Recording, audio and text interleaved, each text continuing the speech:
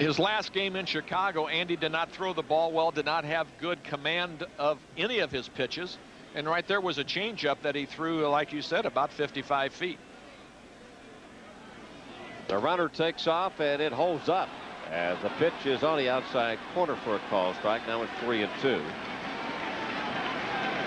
Green at first base took off like he was headed down to second, then stopped. And it's a good thing that he did. Yeah, I was looking at the monitor and I saw Green out of the corner of my eye taking off, and I thought, boy, that's a that, that's a strike. Uh, throw him out at second base.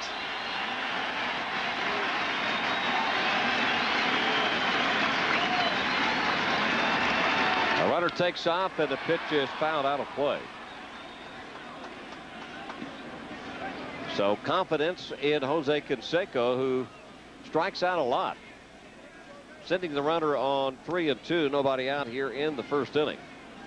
But like I said, uh, Canseco has been hot with the bat. He's on a 12-game hitting streak. Look at the biceps as Canseco, along with the new uh, single-season America uh, uh, baseball home run champion Mark McGwire. They have their arms are bigger than my waist.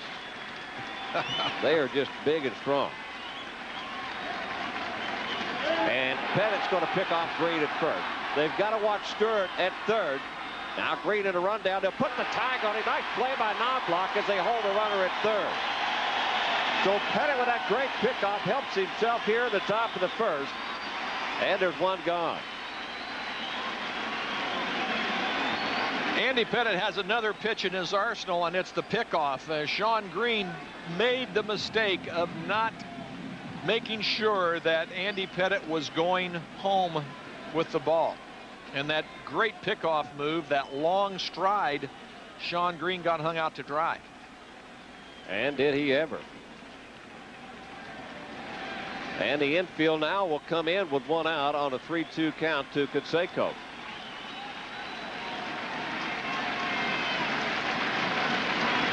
He got him.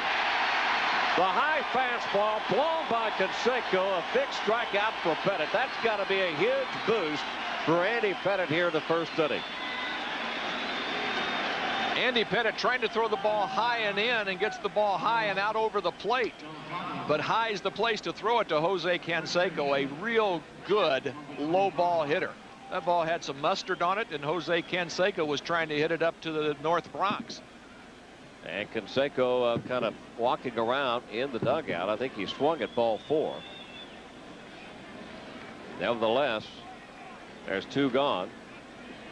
Canseco now with 136 strikeouts will send up uh, Carlos Delgado, a left-handed batter who a year ago was being platooned against uh, some tough left-handed pitching is now having a fantastic year. As you mentioned, TJ, in uh, Skydome against Pettitte his last time out, he hit the longest home run in Skydome history in right field. And we were there to witness it. Yes, we were. And when you look at this young man, at, at this body that he's got, you understand that just watching him taking batting practice, tremendous bat speed. And another fastball inside, just missing now at uh, 2 and 0 to Delgado. Well, just to show you what the Blue Jay franchise thinks of uh, Carlos Delgado, he has been named the captain of this ball club. The first captain since John Mayberry way back years ago. And that's the breaking ball up high for ball 3 3 and 0. You don't so, think Andy Pettitte was thinking about that home run, a 2 0 count, first inning, threw him a cutter, a breaking ball in the first inning? pitchers like elephants. They have long memories. Well, you have to have a long memory when you've got 30 home runs and 102 ribbies. And that was an off-speed breaking ball, up high ball forward. It was almost like Pettitte was somewhat pitching around Delgado. You're pitching around a left-handed hitter, and you you being a, a tough left-handed uh, pitcher. But sometimes I felt more comfortable pitching to right-handed hitters than I did left-handed hitters. If I didn't feel that that I had the, the command of my fastball away to make good pitches on the outside corner to left-handed hitter, I, I, would rather walk him and uh, pitch to the right-hander. And that, look what Andy Pettitte did, throwing a breaking ball 3-0. Cruz is back with the Toronto Blue Jays and hitting fifth in this lineup. And it's strike one to Jose Cruz Jr. He got off to a miserable start in 1998. Finally, the Blue Jays had to send him back to their AAA club to work some of the kinks out and build up his confidence once again. And now he is back. And since his uh, recall from the minor leagues, as Torre and Stottlemyre looked on, Cruz with five home runs and 23 RBIs. And of course, he was in that big trade when Spoljaric and Timlin went from the Blue Jays out to the Seattle Mariners for this young prospect and future superstar.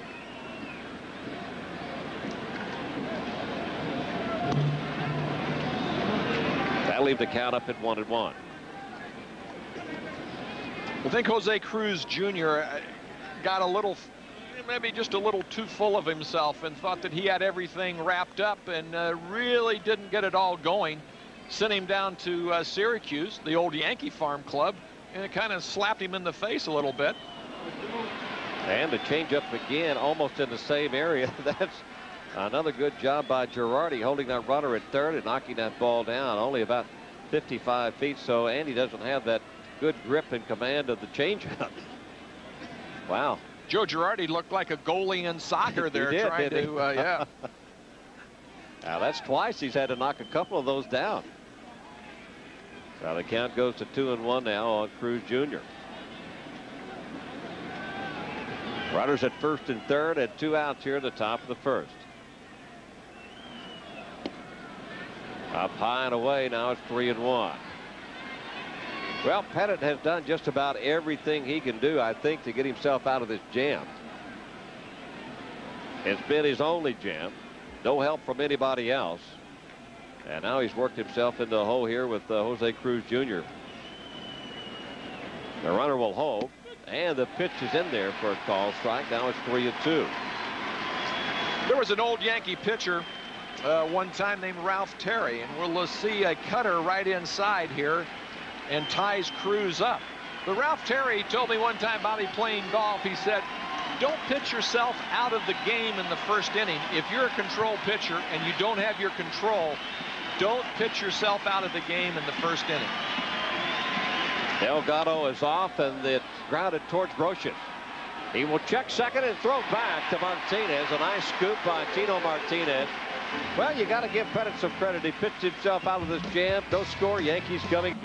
Knoblauch will lead it off. This is on the Corona Extra lineup card. Knoblauch, Jeter, O'Neill, Williams, Martinez, Strawberry, the DH, Ledee, Brosius, and Girardi. Here's Toronto's starting defense. Stewart Cruz Green in the outfield. Santiago Fernandez, Gonzalez, Grebeck, and at first base, Carlos Delgado. Switched over from a catcher, couldn't do it. Brought him back up as a first baseman, and this young man has a super future. And the Blue Jay pitcher, Pat Hentgen, first pitch to Knoblauch as we take a look at Hentgen's numbers, 12 and 10 on the year. 68 base on balls. He struck out 92, but better known as the workhorse. along with Roger Clemens on this Blue Jays staff. But Hentgen last year, 264 innings, 174 and two thirds so far here in 1998. Has had a little bit of uh, shoulder tenderness. Uh, he missed a start last month. Well, hit down the right field line. This will be trouble for Green, and it's off the wall. Knoblauch around first. Green's got a gun to throw. Not in time. Good play by Shawn Green in right field. An even better base running play by Knoblauch, and the Yankees have a leadoff double. Pat Hentgen going in with a high fastball, and Chuck Knoblauch, as we've seen him do so many times, takes the ball right down the line. That's about a foot from going out of the ballpark. And Chuck thinks he's got a home run. No, I don't think so. Now watch him go hard right here. Good decision and a good stand-up slide.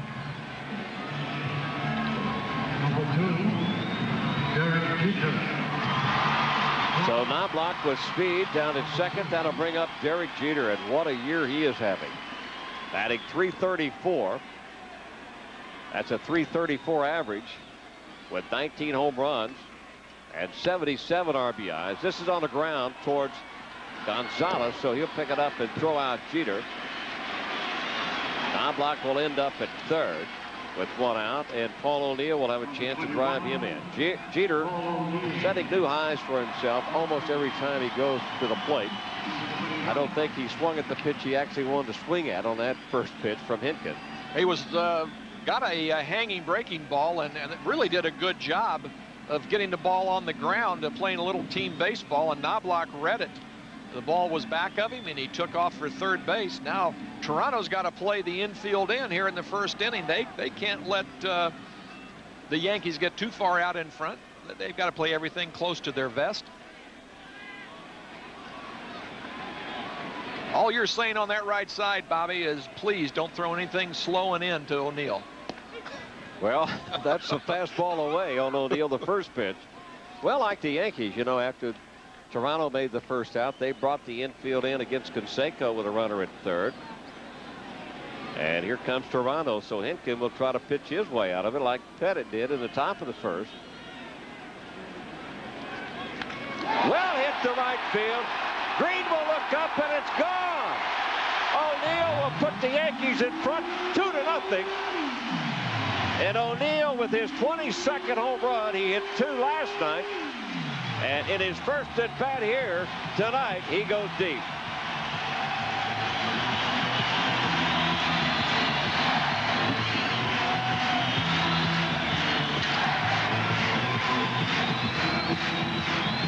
Bobby, as you well know, when you were a hitter and you had runners in scoring position, watch the high breaking ball.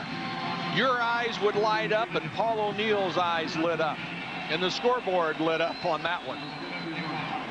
And the bleacher creatures are happy early on in this game.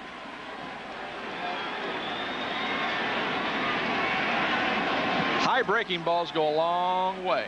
Do they ever? And Bernie will step in now. Let's take another look at that high breaking ball that hung up. Let's just see. And oh, what a sound. From a hitter standpoint, that's one of the most beautiful sounds of all time. Not so from the pitcher, I guess. Right, TJ? Well, uh, you didn't. You don't know that much. I mean, you you didn't hear that sound that much. Shoot, all those balls that they hit off me sounded like that. Some were on the ground. They put holes through Nettles at third base, but other than that. Somebody said with all those home runs you gave up, uh, you had a little bit of loss of hearing. And you don't hear so well right now. Is that correct? Huh? Bernie sends one into center field, but Cruz is there. So two gone for New York here in the bottom of the first. You know, as a pitcher, when you make a pitch like that, you're you're hoping that you get lucky enough that you get by with it, that he fouls it off or pops it up. And Pat Hentgen was not lucky. Well, you got O'Neill, who is uh, hot with the bat again. So Paul is not one of those guys that when he gets a hanger and he's hot that he misses. In batting practice today, I was watching him hit, and he hit almost every ball hard and lined it someplace. And that's strike one to Martinez. Martinez, 25 home runs, 113 RBIs. Two years ago, Hentgen and Pettitte were battling each other out uh, going down the stretch for the Cy Young. Yeah, Hentgen won the uh, Cy Young in 1996. That's popped up in the left. Easy play for Stewart. But the Yankees come back here in the bottom of the first inning. Paul O'Neill take another look at it. Yankees two, Blue Jays nothing. Lots of Yankee hats depicting the American League Eastern Divisional Champions. Tonight, a lot of youngsters on hand. It is a beautiful night for baseball. Tony Fernandez leads it off, and the first pitch is fouled back and out of play.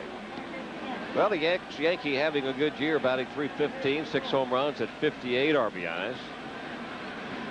Now the switch hitter in this Blue Jay lineup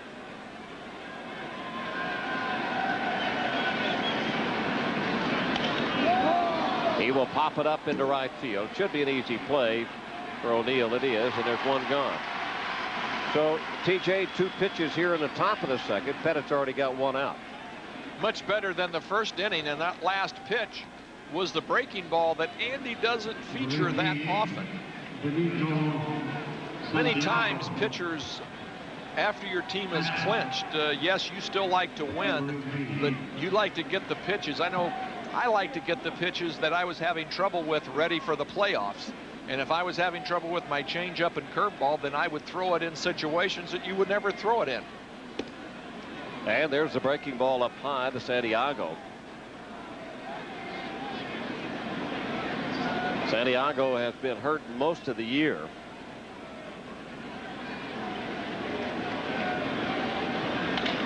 And that's well hit and past Jeter.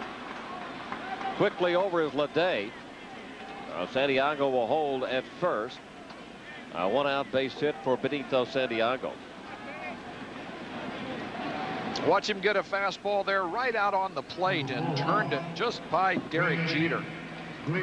Santiago, they could really have used him this year. What a great catcher he was, or is. And with a young staff, and even with Roger Clemens as the veteran, love to pitch to a guy like Santiago. Well, he did make his first start until September the 6th. That's only about a day ago, or a couple of days ago, against Boston. We'll take a look at uh, Grebeck with one out. Here in the second inning, Yankees lead it two to nothing.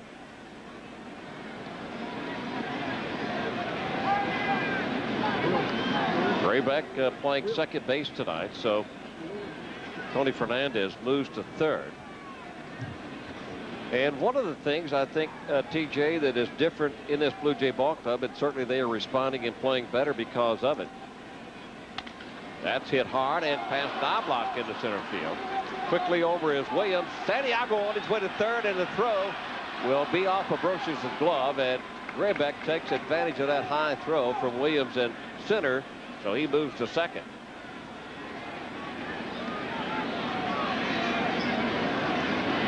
Santiago not known for his speed, but getting a uh, Grebeck getting a ball up the middle. I think Knoblauch might have been uh, shielded a little bit by Tim McClelland at second base. Just a little screenplay right there. And Bernie Williams did something that an outfielder, Bobby, you know, should not do. Missed the cutoff man. The guy's already got third base. You don't want the batter to go to second base on that. Takes a double play out of order for the ninth place hitter. And this is Gonzalez. That's up high and outside for a ball. So that uh, high throw from Bernie does a couple of things besides taking the uh, double play out of order. It puts the tying run down at second base in scoring position.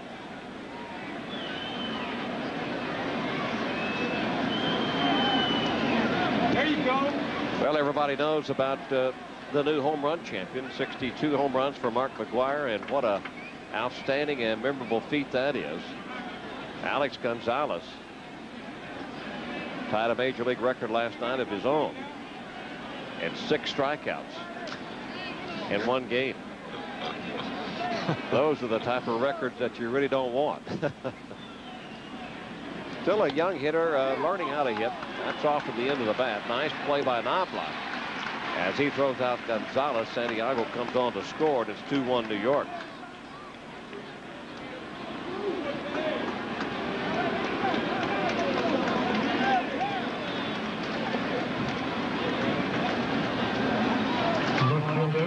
Gonzalez did a good job. That sinker down and away. That was a good pitch by Andy Pettitte.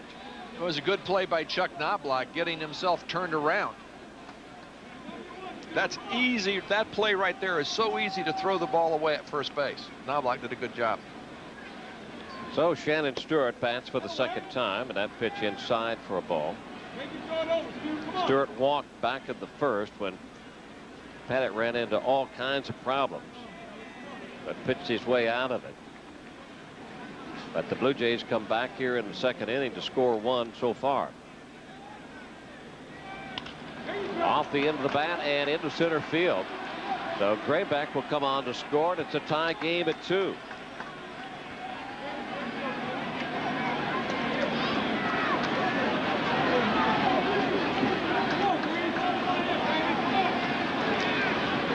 Stottlemyre and Torre looking on as Andy Pettitte gives up a cutter inside. It doesn't quite get in, though, and it jammed him. It jams Shannon Stewart, but watch Joe Girardi uh, right on the inside half. Uh, you want the cutter being in off the plate. So with Green stepping in, Stewart with good speed again at first base. Ground ball to hole and fast block. So Green is two for two. Stewart will end up at third. And another hit for the Blue Jays here in the second inning. Blue Jays now with four hits here in the second. Watch Joe going away. Now watch where the ball is. Right on the outside part of the plate. Ball was up just slightly, but still a pretty good pitch. You've got to be able to pitch away to left-handed hitters in this ballpark to be successful. Boy, Green taking advantage of that uh, big hole between first and second to pick up his second hit. We'll see if he stays a little bit closer to first. He was picked off back in the first inning, so Canseco will come to bat with two men on. He struck out his first time up. But Bobby, how many times though when you were up there knowing that there was that hole at first base and you kind of knew that they were going to pitch you away that you you were looking out there and how many times did you just take it and do do like Shawn Green and just hook the ball in that hole? Well, you look to take advantage of that. I mean, if you get if you get the uh, pitch to pull, you might as well take advantage of it. Now it's one and one. Canseco hit a long one off of Pettitte in his uh, last outing at the Sky Dome. Seems to me that was on a 3-2 pitch, and uh, the ball was middle half of the plate. either want to pitch Jose down and away or the up and in. That's the old way. That's about the fifth changeup that Andy Pettitte has bounced in front of home plate. Nice play again by Girardi. As I mentioned Canseco struck out back in the first inning, and he has done that a lot of times this year, more times than anybody in the American League. So now he uh, leads it with 136, which is not new for him. He normally strikes out uh, quite a few times during the course of the season. Toronto's got three, uh, three out of the top five in there. Swing hard in case you hit it.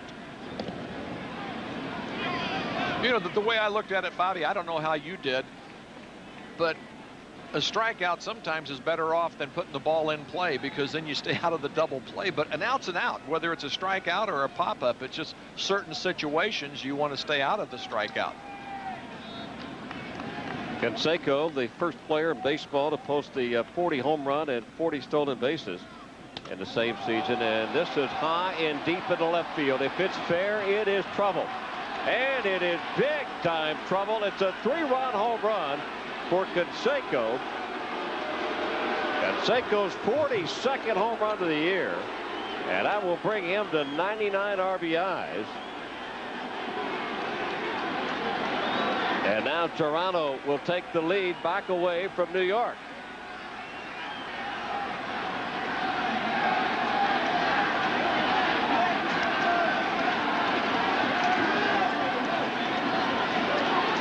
Jose Canseco did something right here.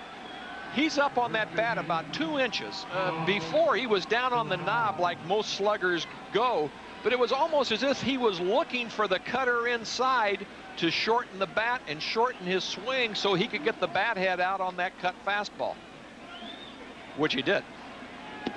And Delgado now, it's still two outs.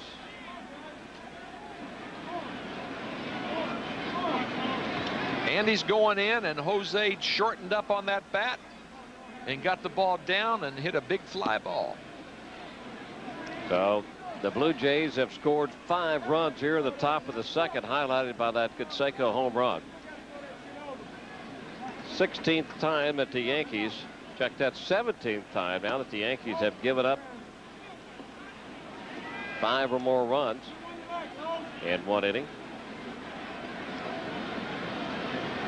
Now it's two balls and a strike to Delgado.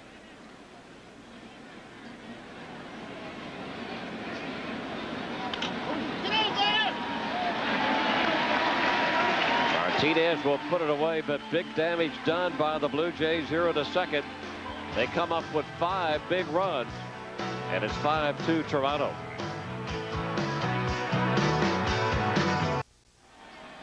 Strawberry leading off, and that's the second pitch of the inning popped up to the shortstop Gonzalez. So two pitches here at the bottom of the second, one gone for New York.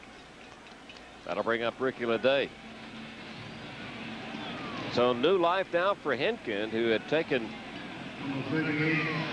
a pounding in the bottom of the first inning, giving up a home run to O'Neill. Yankees lead it, led it two to nothing. Now it's a 5-2 Toronto. And Ledee getting Another start in left field for New York. Of course, the month of September is the big call-up month when the rosters can expand back to 40 men.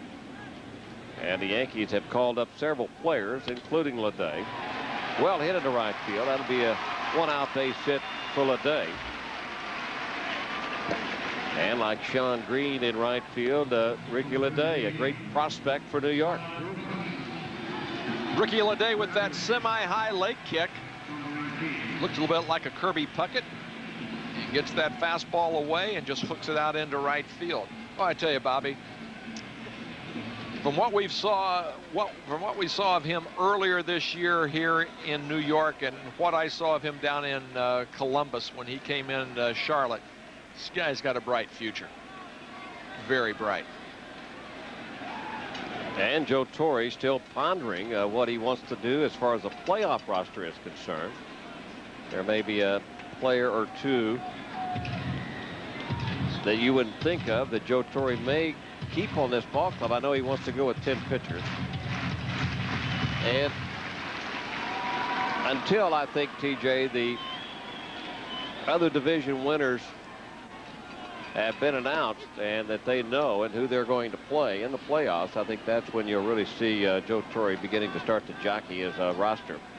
Well, it, it, looks like the uh, West is going to go down to the last few games because Texas and Anaheim play each other five times coming up in the last 17 games. Brosius has a seven-game hitting streak. That'll be a base hit, so make it eight for Brosius as the Yankees come back with a couple of men who are on now with base hits. And that'll bring up Joe Girardi.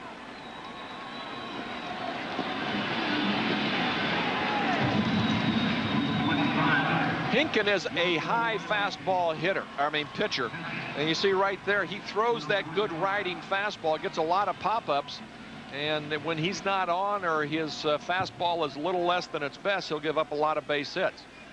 But as you said, Bobby, earlier, he's a battler. He's the workhorse. He's the guy out there that, uh, until Roger Clemens came over, that was going to go to the mound about 35, 36 times a, uh, a season. Well, Tim Johnson looking on as this Blue Jay ball club four and a half games back of Boston in the wild card. So this game is extremely important to them. Not that important to the Yankees since they've already wrapped it up in the East maybe for wins and trying to be the winningest club. But normally, after you've wrapped it up, your manager will give a couple of your key players, you know, two or three of them the, not, the next day night off. Uh, not here because of the Blue Jays uh, battling. Well, as uh, as Joe said uh, when we interviewed him uh, during batting practice, with Toronto and Boston coming in, you really can't let any of your big guys out because it's not fair to either one of them. You, you got to play your best players out there and uh, try to do the best job you can.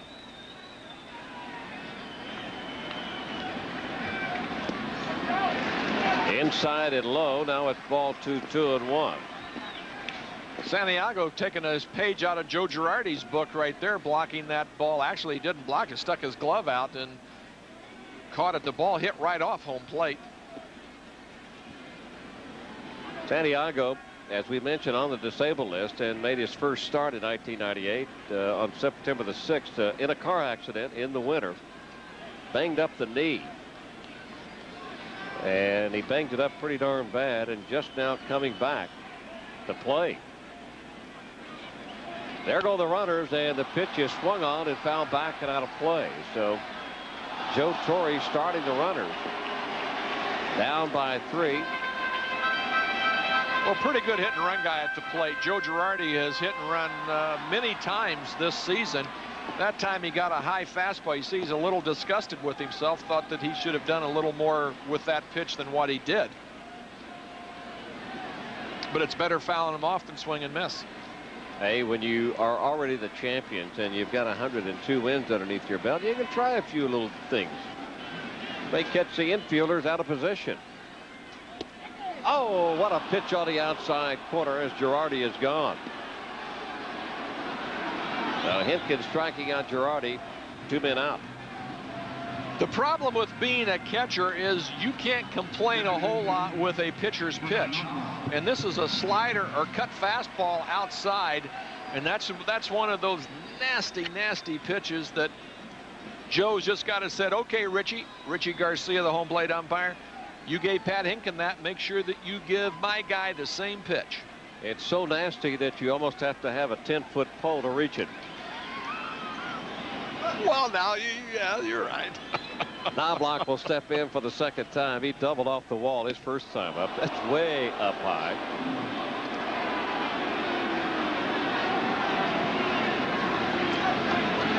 That ball was just one of those uh, pitches that Hentgen threw saying, hey, Chuck, don't be looking out on home plate trying to hit the ball to right field like you did the first time up. And well, that was just a straighten him up pitch. Nothing new for Knoblauch. He'll take one for the team.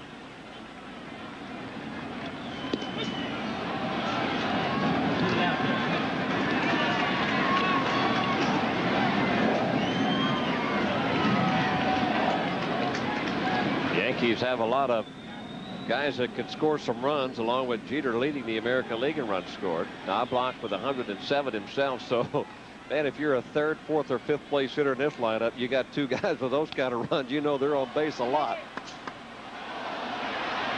That'll be out of play, and it's a one ball, two strike count. And all you ask as a third place hitter or a cleanup hitter or a fifth place hitter, get those guys on in front of me. It makes me a better hitter. Give me a chance to drive them in. If you can recall, uh, Sal Bando drove in over 100 runs with the A's back in the early 70s and, and hit like 239. And what it was, Campaneris and Dick Green and those guys were getting on base, moving over. Bando get a little uh, ground ball out, fly out, drives runs in. A little blooper out into center field. It will fall in front of Cruz. Around third is Ledee, and he will come on to score. It's 5-3 Toronto.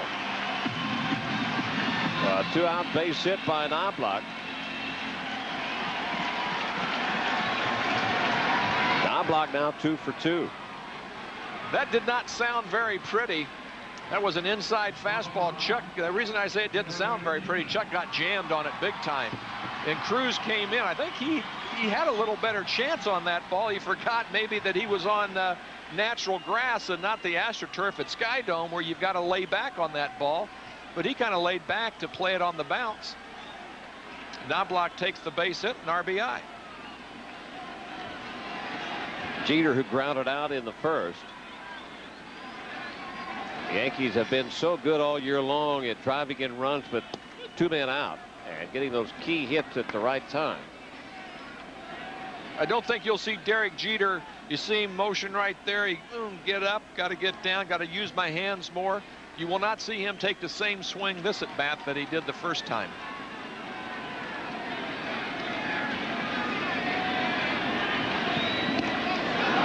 Good fastball swung on and throwing two now to Jeter. And, and this is a typical Pat Hentgen fastball in the upper part of the plate or upper part of the strike zone right over the plate. And then that's where he pitches from the belt to the uh, letters.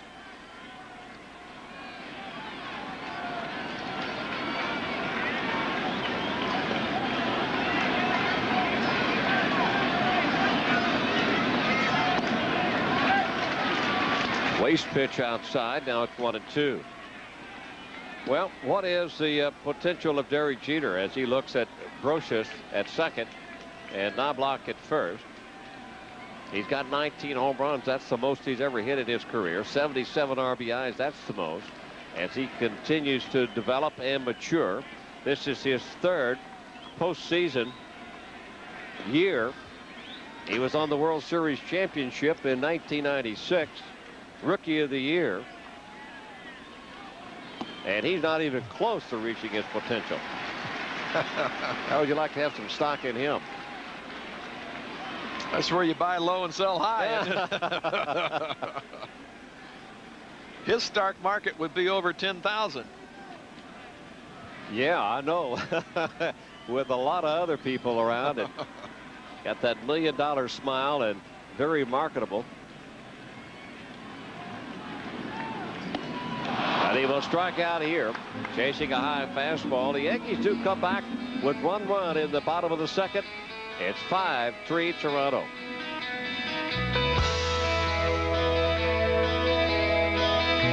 And Ansky. How about that? Ansky means Yanks when you put it in the proper sequence. See how smart I am? Isn't that unbelievable? That's what I, I figured that out on my own. You know, like I'm a Scrabble player of some that's some what sort. An, that's, that's, what an Oklahoma education will do for you. Thanks oh, a you. lot. All right, I got you on your home run, Dio. So now you're going to get back at me, right? Oh no. Yeah, you are. No, no, no. Jose Cruz Jr. leads it off for the Blue Jays here in the third. He is 0 for 1. The Blue Jays came up with five runs in the second. That's the breaking ball. Now it's 0 2. He's allowed five earned runs in each of the last five starts. The last start was only two innings. And a good pitch there, striking out Cruz. He didn't like the call. So three pitches and a strikeout for Pettitte to lead off here in the third. You remember the ball that uh, they called Joe Girardi out? Joe Girardi didn't say anything, went right back to the dugout pitcher's pitch right there. You didn't need a 10-foot pole. Just got to get your thumbs roasted if you swung at it. Like a pretty good pitch to me. And Pettitte thought so too. Tony Fernandez brings his 11 game hitting streak with an 0 for 1 here in the third. That's a strike with a breaking ball. Good, good first pitch for Andy Pettitte. That that that, that curveball. If you watch David Wells throw, throws a lot of first pitch curveballs, and that's a good pitch for Andy.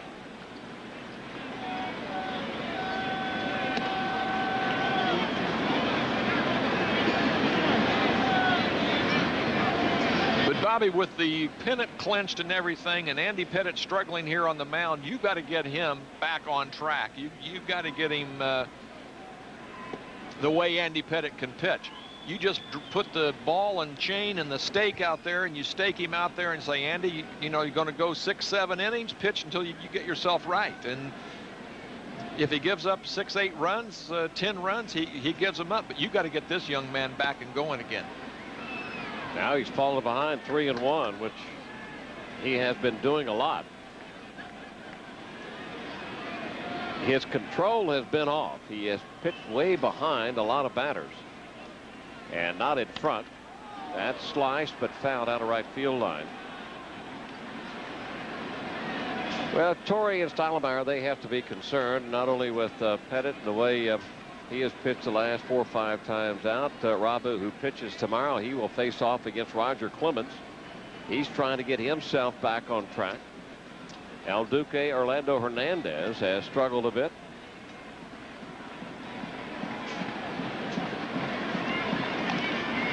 A little tapper foul, and of course, you know as well as everybody else, especially Joe Torre and Stottlemyre, if you go into a short game divisional series, pitching is what will win for you. And when you get in the playoffs, basically, if you've got the strong pitching, you've got the upper hand. They've got Wells and they got David Cone. What a job they did up at Boston. Wells uh, didn't win his ball game, but David Cone matching up against Pedro Martinez. What a pitching duel that was. Bobby, if you just recall all the teams that you played on, and even back in the 96 Yankee team, they won because of pitching. Starting pitching, but out of the bullpen. A short series, like you said, is dominated by pitching. Well, a one-out walk to Fernandez.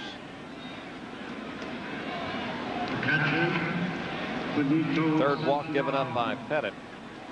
That'll bring up Santiago. Last time up, Santiago got the ball up about belt high and out on the plate for a base hit. Don't do anything different. Just lower your sights and throw the ball down a little bit, but keep it away, and you'll get a nice little 6-4-3. Up high to Santiago. He had a heck of a year with Philadelphia back in 1996, uh, hitting 30 home runs and then uh, tried the free agent market. And so Toronto liked what they saw in him. They knew that they were going to going to have a pretty good pitching staff and a young pitching staff, and they needed a guy like Santiago to be their receiver. And then he hurt himself with a car accident to start 98 off, and he's uh, just now working his way back in the lineup. You, you, don't know, Bobby, how important it is to have a Joe Girardi back at the plate or a Santiago or a Carlton Fisk or a Thurman Munson. Guys that know how to catch and they can do some stuff with the bat. They don't have to be awesome hitters, but what they do to help those pitchers, it's invaluable.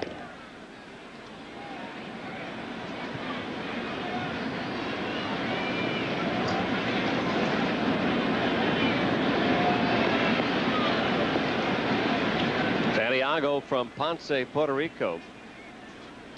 33 years old.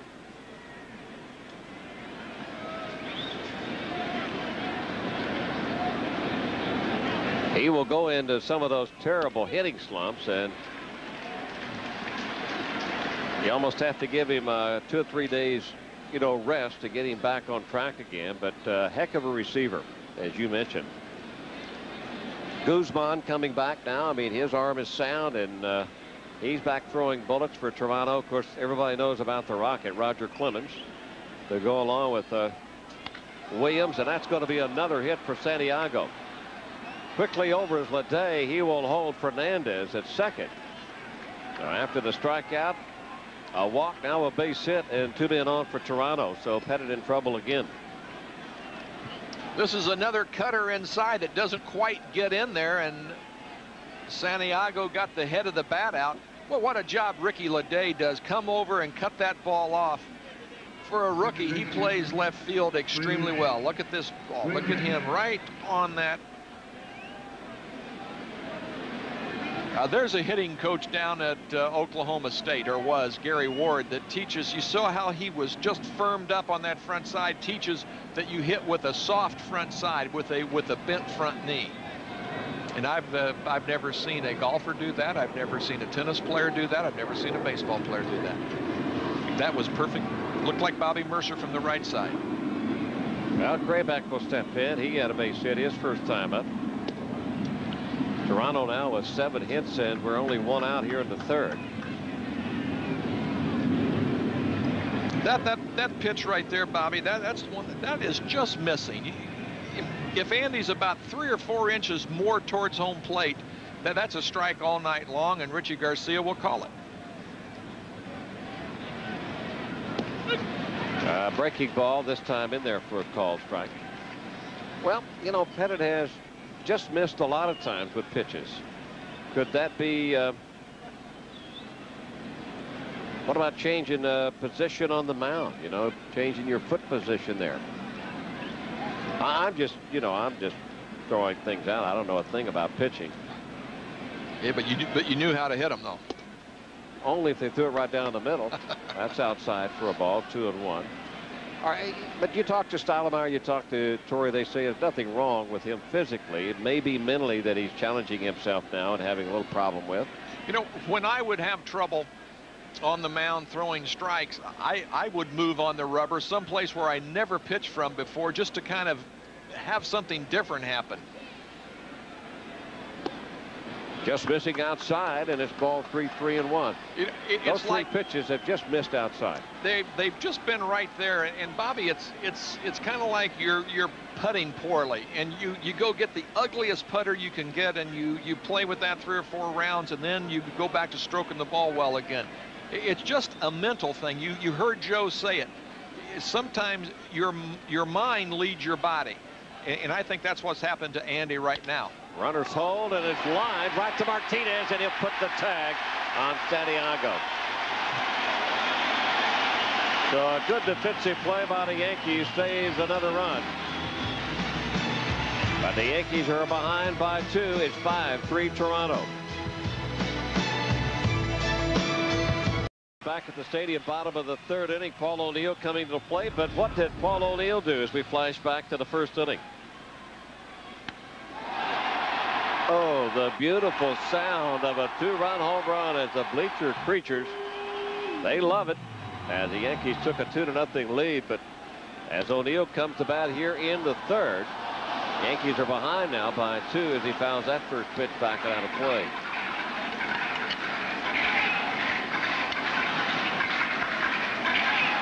Two guys, unlike Yankee hitters in the past, talking about from the left side, Tino Martinez and Paul O'Neill.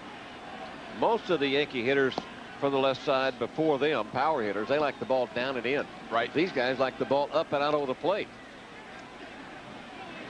Paul O'Neill, if you throw him away down, he'll hit the ball to left field. If you throw him up and away, he'll hook it and hit it into right field.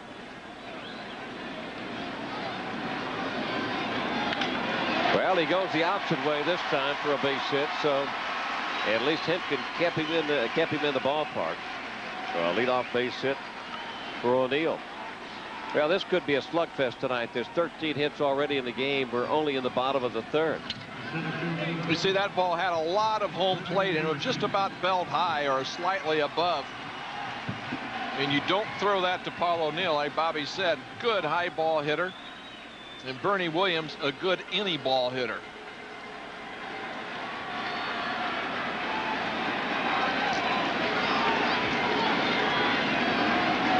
Williams flying out to center field his first time up. Maybe he will try to take advantage of that big hole between first and second. Up high for a ball. Bobby, what happens to pitchers when you you think you have good stuff and you're throwing the ball and and they're hitting it? You you tr you try and throw it harder, or you try and throw it microscopically to a uh, better position on the plate, and you end up throwing it less. That's back up the middle off the glove of Hentgen. He will get the lead run. So one gone. If he comes up with it cleanly, they may turn it into a double play. But just to knock it down and uh, throw a man out, that's a pretty good job. It's a good job, but he gets squared up. You see how his body's right there? His glove was down, and then Bernie hit the ball hard, and he was fortunate that the ball hit his glove. And, and then after it hit it, it just fell just in back of him. Right on the rubber. Makes a good throw. Gonzalez did a good job of getting out of the sliding Paul O'Neill. All right, we'll see what Tino can do. He flied out to left field his first time up. He goes to the right side and takes advantage of that big hole. Base hit for Martinez. Bernie on his way to third, and he will make it. So runners now at first and third, and only one out for New York and Strawberry.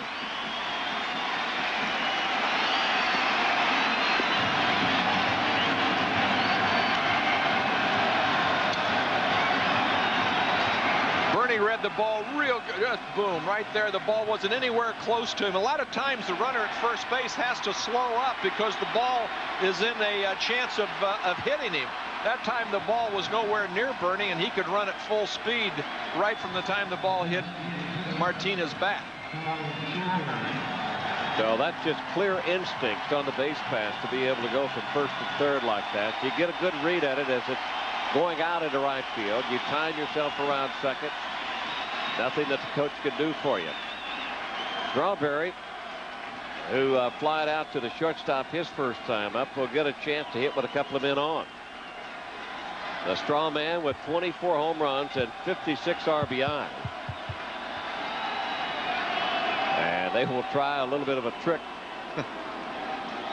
and they darn near tricked Tino a little bit at first base. Last time that that play worked, my uh, my hair wasn't gray.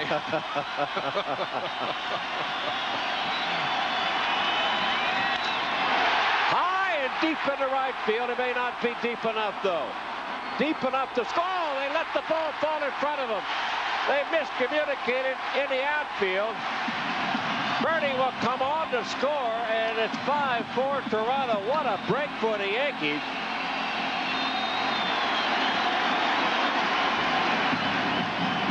Green came over, uh, Cruz came over, and nobody could come up with it. They just miscommunicated. Bobby, that was one of those uh, Cruz looked like he was calling for the ball, and then you could see Green started to back up. And nobody could go any place on that play because uh, Tino had to respect that the fly ball, and that was a very catchable fly ball. Ricky Ledee with a good swing, fouling that one, backing out of play. Well, that's a gift. And Strawberry will take it, and so will the Yankees. Bobby, you said something a little earlier before uh, Strawberry got that hit. When you were running bases, did you use your coaches much, or did you just know where the outfielders were and then use your speed and where you could go? I used mostly my own instincts on where I could go and how far I could go. Willie at third base and Jose Cardenal at uh, first base.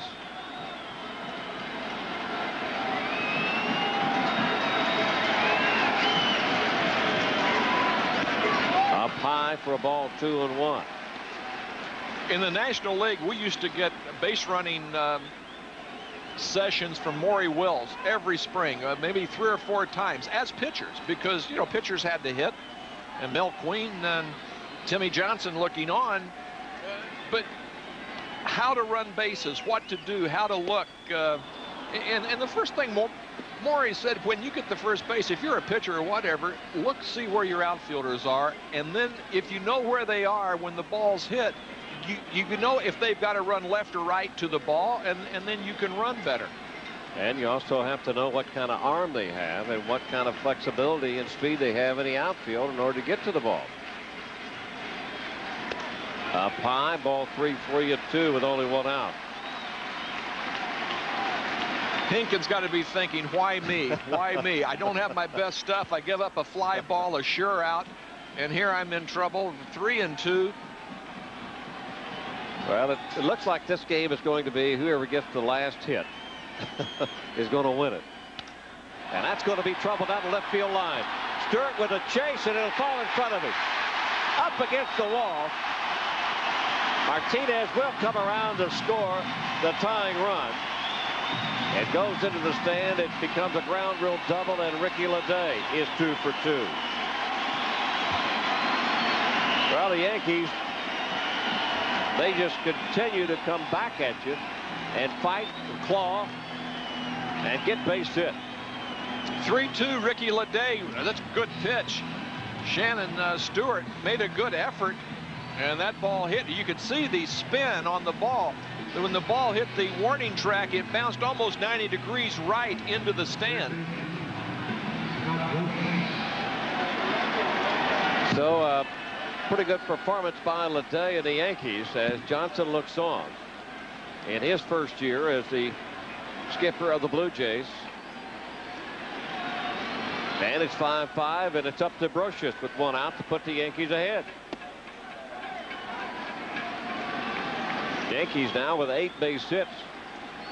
Check that. That's nine base hits versus Toronto seven. And I want to tell you that we are in the third inning.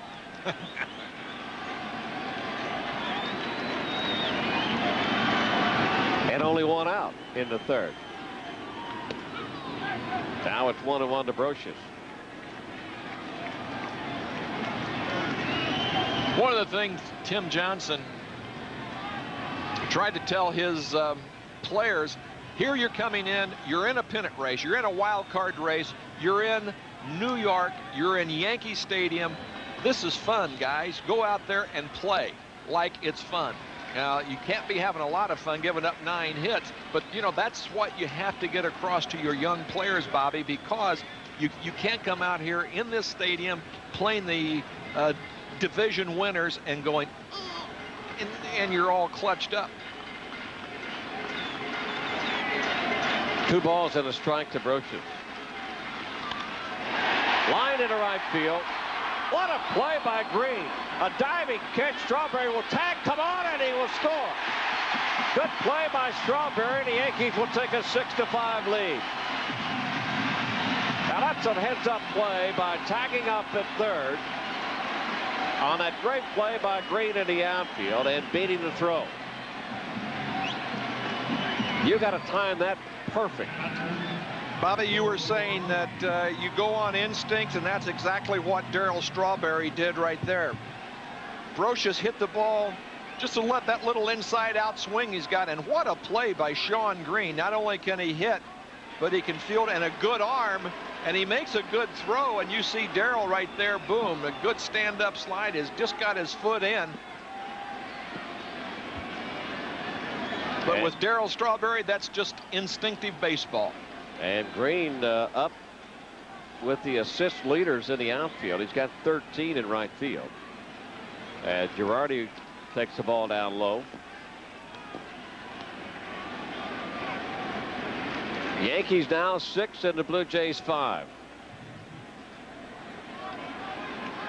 You would never know that the Yankees had clinched the American League Eastern Division. There has never been any let up in this ball club from day one, and there won't be any let up in the ball club when the season is over with.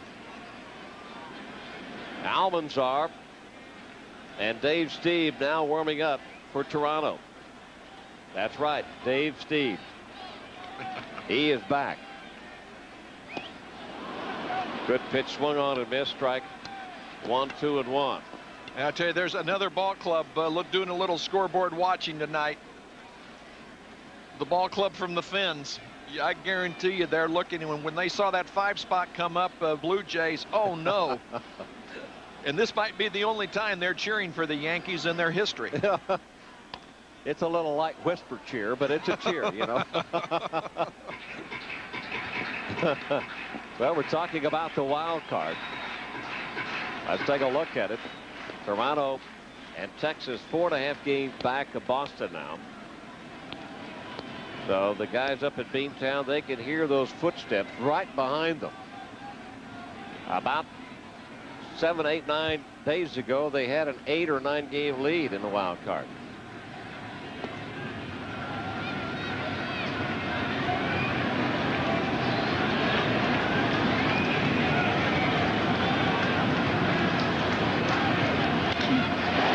into center field. Cruz on the run.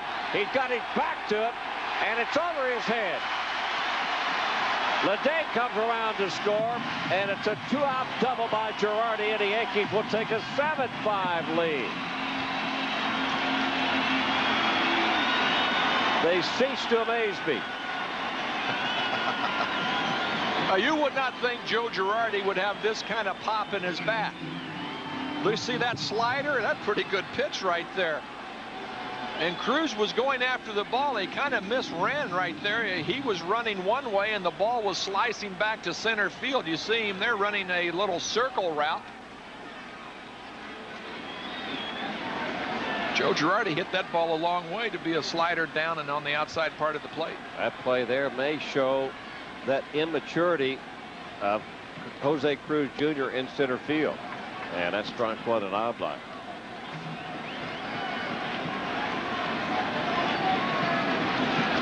Knoblauch. Knoblauch two for two tonight with an RBI and a run scored.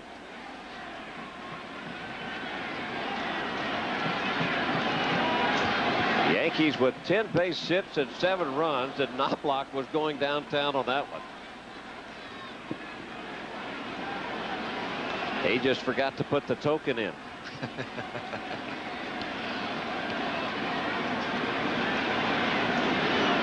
Boy, Hentgen could have been out of this thing with the fly ball to center field mm. between uh, Cruz and Green. How costly was that? Well, it's costing three runs.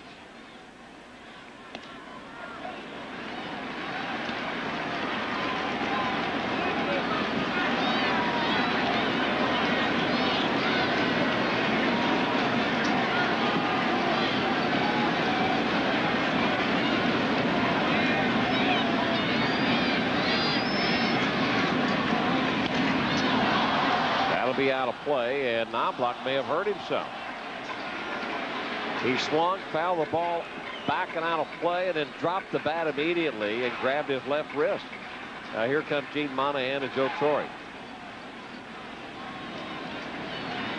Dean Palmer of the Texas Rangers one time took a swing, a mighty cut, and Torre's uh, right bicep and was out almost a year we were doing the game that night. They were playing the Twins. We saw the swing, and but who was it earlier this year that swung the bat and hurt his wrist? Uh, oh, no, uh, Ken Griffey Jr. about a year or two ago took the check swing and uh, hurt his wrist. This is what, boy, you don't want to see that here.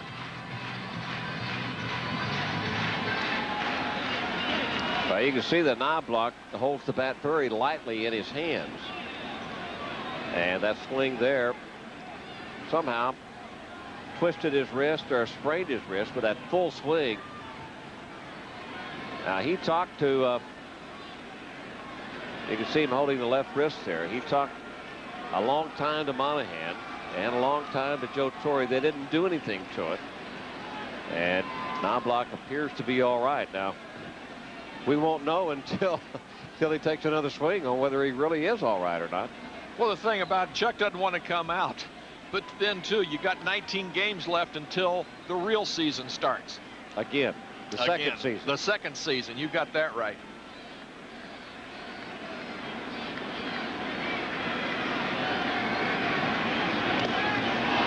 And that pitch is fouled uh, off of Santiago this time, so Santiago takes the brunt of that foul. If you've got a good fastball, and, and Bobby Hentgen does. You, see Chuck holding that uh, right thumb off. Now he tightens it up. If you got somebody that hurt their wrist and they come back, unless they're fooling you, you, you want to come back with a hard fastball inside and force them to get that bat around. I can tell you with that swing right there, he's all right. if, his, if his wrist was hurting him real bad, he wouldn't be able to swing the bat like that. So that's a good sign. Still one and two on Knoblauch with two outs.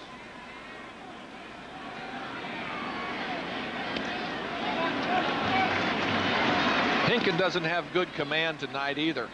Uh, you see Santiago right there was moving inside and Hentgen threw the ball up and away.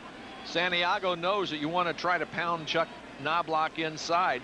You see him looking at him right there. Catchers also study feet how you stand in the batter's box from uh, at bat to bat and to pitch to pitch. Outside, and it's ball three, three, and two.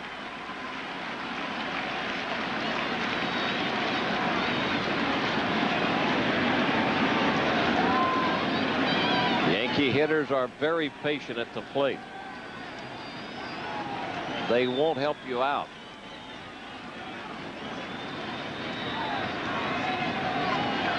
Up high, ball four. So Knoblauch works him for a walk. And now there's two men on for New York, and they've batted around. Well, the Blue Jays pitching uh, in the American League as a rank at this particular time. Well, they're they're third in the league in uh, in ERA. Next to uh, the Yankees are first. So you've got the two of the three best pitching staffs in the American League. And that man right there, Mel Queen, is one of the reasons for it. Veteran pitching coach, been around a long time, seen a lot of things. Well, with Jer Derek Jeter coming to the plate, he is 0 for 2. The Yankees have now batted around 32 times here in 1998. So Jeter becomes the ninth hitter in this inning. Jeter already one for uh, Jeter already 0 for 2 and he's just in the third inning. Not good for the batting average. Down low for a ball. Especially you get in those uh, extra inning ball games and go like 0 for 7, you can have a little something good going. In. That's something Jeter does not want to do, being second in the American League batting race to, G, uh, to Williams.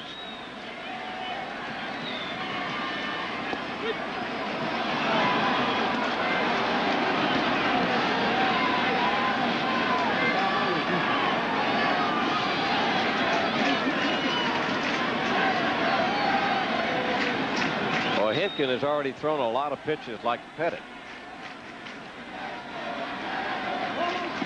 That's the breaking ball down low. Now it's uh, two balls and a strike to Jeter. That's the first curveball that Pat Hentgen has thrown tonight. He's been going with the slider, kind of like Andy Pettitte goes with his cutter a lot. He's got a good breaking ball, and, and that was it right there. Unfortunately, if you only throw it once every three innings, you don't have good command of it.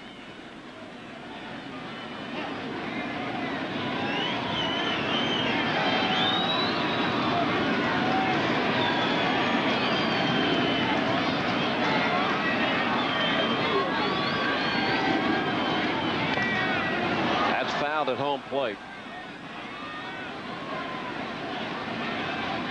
Well, the two home runs last night and 118 runs scored. Celebration in Boston. Bernie battling Jeter. Last time the Yankees saw the battle in the uh, batting race was Mattingly and Winfield. And it came down to the last day. Down low ball three, three, and two. This might be Pat Hentgen's last batter. If he doesn't make a good pitcher, you know, he's a good pitcher, but you can't let the game get out of hand with your ace out there scuffling around on the mound. And with Paul O'Neill coming to the plate. 68 pitches now for Hentgen. That's a little over 20 per inning. Is that good or bad? If you were Tommy John, that was excellent. If you were now Pat Hentgen, that that's not very good. If you were Tommy John, you'd be settling down out of that sinker ball and really be sinking, right? yeah. I tell you, Bobby, if, if they had pitch counts when I first came up into baseball, I could never have pitched. Here goes the runners, and the pitch is bounced right back to Hentgen. So Jeter now 0 for 3, but the Yankees bat around. They come up with four here in the bottom of the third. Some sloppy play by the Blue Jays, and they open the gates up for the Yankees. 7-5 New York. Take a look at this. This really helped the Yankees out and hurt Pat Hentgen. I got it, I got it, I got it. You take it. One of those type of deals. Shawn Green was uh, going back, and, and, and this is what you have to do okay, you have a young ball club. Shawn Green's young. Cruz is young. You, you get the guys down there. You explain what's going to happen, and you don't want that to happen again. So the Blue Jays will have to try to battle back again as Gonzalez, the ninth place hitter, leads it off here in the fourth. So Andy Pettitte with his second reprieve of the game. And he's got a two-run lead. You, you know, you can take a mistake like that, and if something positive comes out of it, it's it's not that bad. But you tell that to Pat Hentgen right now, and he may bite your head off. like the Tasmanian devil.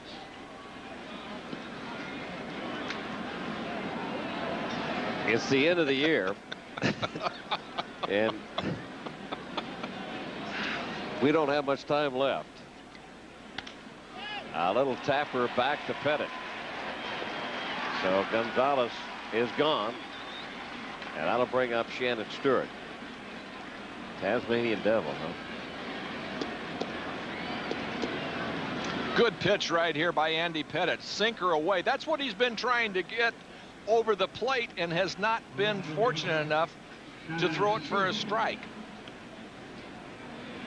We'll see if he can uh, tighten the lid on his cap right now and uh, get back to pitching like Andy Pettitte. All right, Shannon Stewart, who's officially uh, one for one. He's walked, had a base hit up the middle, produced an RBI and came around to score in the second when the Blue Jays scored five off of Pettitte.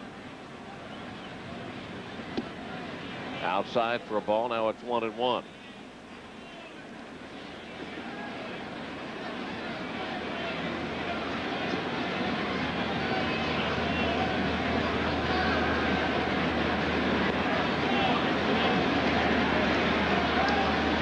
Different style for Pettitte pitching in the last, I would say, uh, four times out maybe, uh, using a lot more off-speed stuff.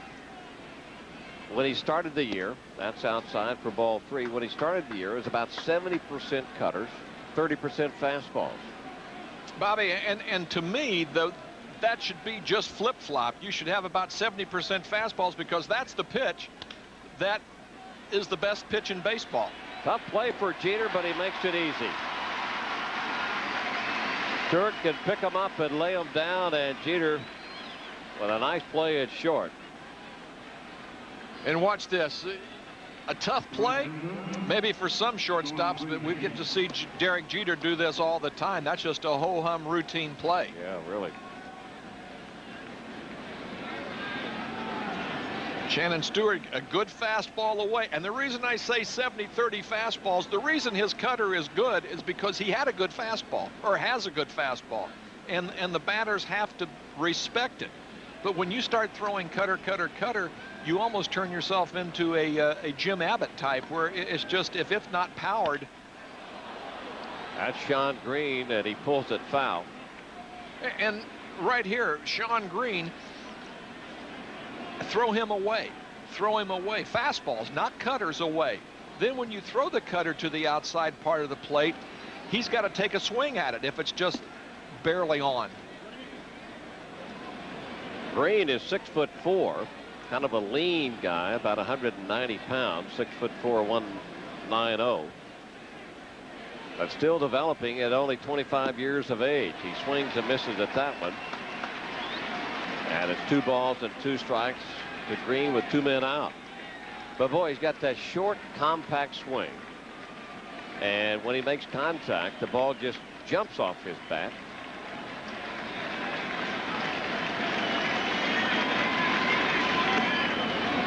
That'll get away from Girardi, and the count goes to three and two. Green has also played uh, many outfield positions. He plays all three, as a matter of fact, right, left, and center. But Johnson thinks that uh, he is his best right fielder with that arm that he has out there, and I agree. Swing and a miss, strike three. Girardi hangs on to it. So Pettitte has his easiest inning of this game, and the Yankees lead it 7 to 5 what can you say about Dave Stieb? But went down to spring training, uh, kind of like Catfish and Guidry and all those guys do. Go down there, throw a little batting practice, be a guest instructor. Threw the ball so well, he said, hey, you know, uh, guys, uh, I'd, I'd, like a chance maybe to try to come back. And come back he did. He's in the big leagues, one and one. I know he pitched very, very well with the Syracuse Sky Chiefs. Well, his last appearance for the Blue Jays after having a great career for them he retired. Was in August of 1992 before 98. So I guess he has heard all the broadcasters, all the radio broadcasters, everybody talking about the pitching in baseball today as Paul O'Neill fouls that pitch back out of play. And even though he's 40 plus, he said, well, you know, if they are right, maybe I'll try a comeback. I feel pretty darn good. and guess what? Here he is. If his stuff is as nasty or half as nasty as it used to be. Well, not on that pitch there. O'Neill will go deep for the second time of the game into the upper tank. And the Yankees will take an 8 to 5 lead. And O'Neill now has hit four home runs in the last two days. Two last night and two in this game. And we're just in the fourth inning. This is what uh, Dave Stieb used to have was that biting slider that would get down and in and just and roast your knuckles. And he kind of hung that pitch, and we'll see it coming up on the replay. Boy, Paul O'Neill hit that in the upper deck. Woo. So Paul now with three RBIs, two home runs, and three base hits. Breaking ball swung on and missed. Let's take another look at it. Can we hear the sound on this one? That ball didn't have any downward uh, bite to it. That was just kind of a flat slider on the inside part of the plate, and that's where hangers are deposited. That, yeah. that, that's the bank depository up there. It just made a deposit. Remember I said earlier in the game that uh, these left-handed hitters, O'Neill Martinez, they like the ball out on the plate. They're not like the traditional left-handed hitters here at Yankee Stadium. I take that back on that pitch. they like it low and in. I take it back. I didn't say it, ladies and gentlemen.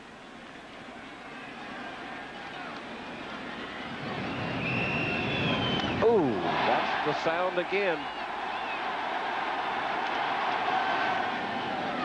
O'Neill loves to play the drums, and so he knows what the sound is when he hits the right beat on that drum.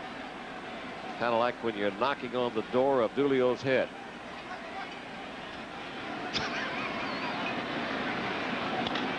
Balabi pull foul off to the right side. Hey, while we got some time, I want to wish uh, Jerry a happy birthday. Jerry Casale used to pitch uh, for the Boston Red Sox and also the uh, Detroit Tigers. Has a restaurant here in New York City at Pino's Restaurant on 34th Street. He also gave up the 24th home run to Roger Maris back in 1961. What's Jerry about uh, 72 now? You mean inches around? No, I'm just kidding. no, I tell you what, he's got a fabulous restaurant. Great guy. Jerry Casale at Pino's Restaurant. Roger Maris.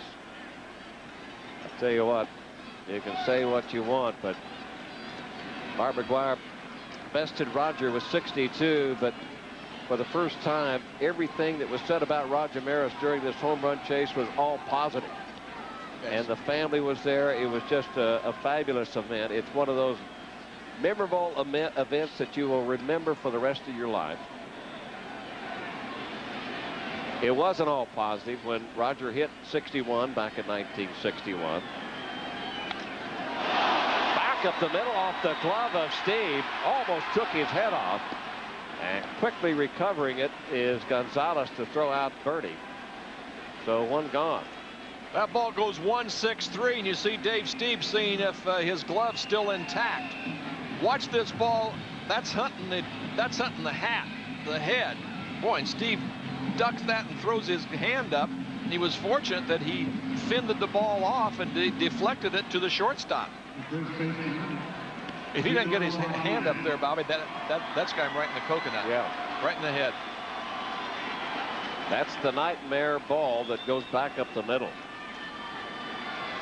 That all pitchers dream about, and it's a bad dream. Yeah, that's that's one of that's one of the reasons the old left-hander left the game right there. Too many of those came back and you couldn't defend yourself. Well hit into center field and moving back is Cruz to make the catch. It is two gone for New York. Do you remember Jerry Casale? Were you pitching uh, when Jerry was pitching back in the uh, 60s? Yes, I remember the name. Yes, I do. Yeah, big guy, you know, and I think he threw the ball pretty hard. Well, Boston had a bunch of those guys back in that era. Radatz. Yeah, but he talks about Dick Radatz a lot. Yep.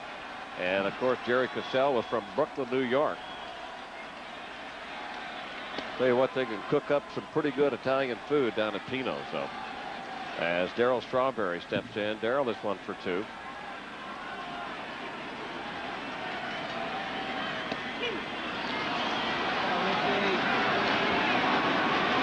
Dave Stieb is throwing two nasty pitches to Darryl Strawberry. Backdoor slider one, backdoor slider two. See if he goes away with a fastball here to make try to make Darryl bite or come inside. Ooh.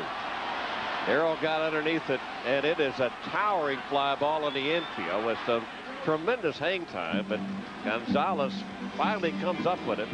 Paul O'Neill with his second home run, and the Yankees lead at 8 to 5. Boy, the Yankee fans are happy. Yankees lead at 8-5 over Toronto here in the fifth inning. But come on down to the stadium and cheer on the 1998 American League Eastern champions as they continue their series against the Blue Jays tomorrow at 7.30. And then Saturday, September the 12th at 4 o'clock. And then finally Sunday, the uh, series will end at 130. Jose Canseco leads it off for Toronto here in the fifth inning. He had a towering uh, three-run shot back in the second when Toronto scored five. David Wells having a good time and a great year to go along with it. You think David Wells had a good time last night throwing that champagne and stuff around in the clubhouse? you know, I loved his quote. He said, I'm so glad we we clinched it up at Fenway in this clubhouse. Now they'll have to live with the stench the rest of the year on that champagne shower that they gave the clubhouse. He said we didn't have to smell our clubhouse up with that champagne. he said we did it in the perfect spot. And he's right. but that stuff lingers for a long time. Absolutely. Everybody knew it was going to happen. And they become the uh, fastest team to clinch the American League divisional title since they started divisional play in 1969. 3-1 now to Canseco.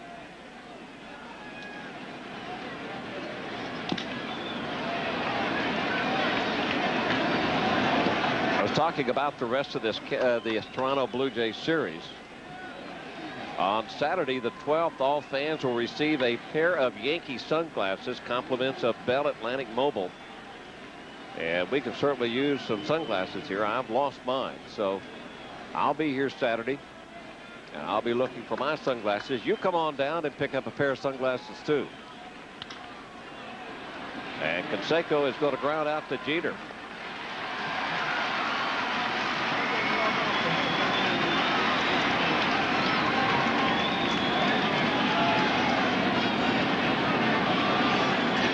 Andy Pettitte is starting to throw the ball to the outside part of the plate, starting to use that good fastball away. And that's the way I remember Andy Pettitte pitching in the minor leagues and even up here in um, earlier in the year. See, look at that shaking, big boomer shaking his head. Almost got it, Jose. Almost got it.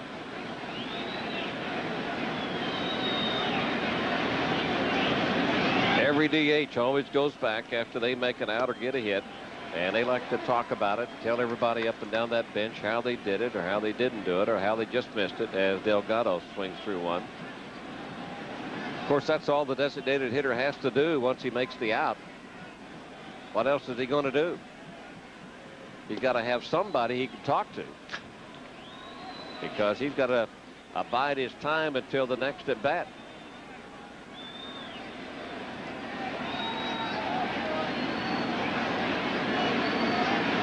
I don't know who Jose is talking to there. It doesn't sound doesn't look like anybody's listening to him.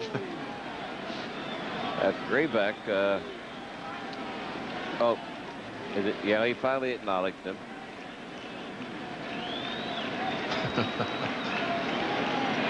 I think Jose is saying, you know, I got the same pitch as I hit the three-run home run. Whoa, what? Look at that.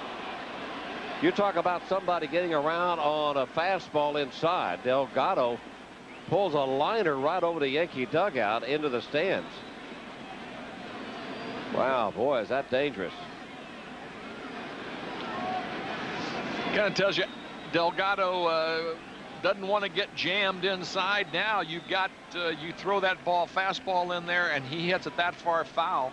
Now you can go on the outside part of the plate either with your fastball or breaking ball. Delgado, the new team captain for the Blue Jays.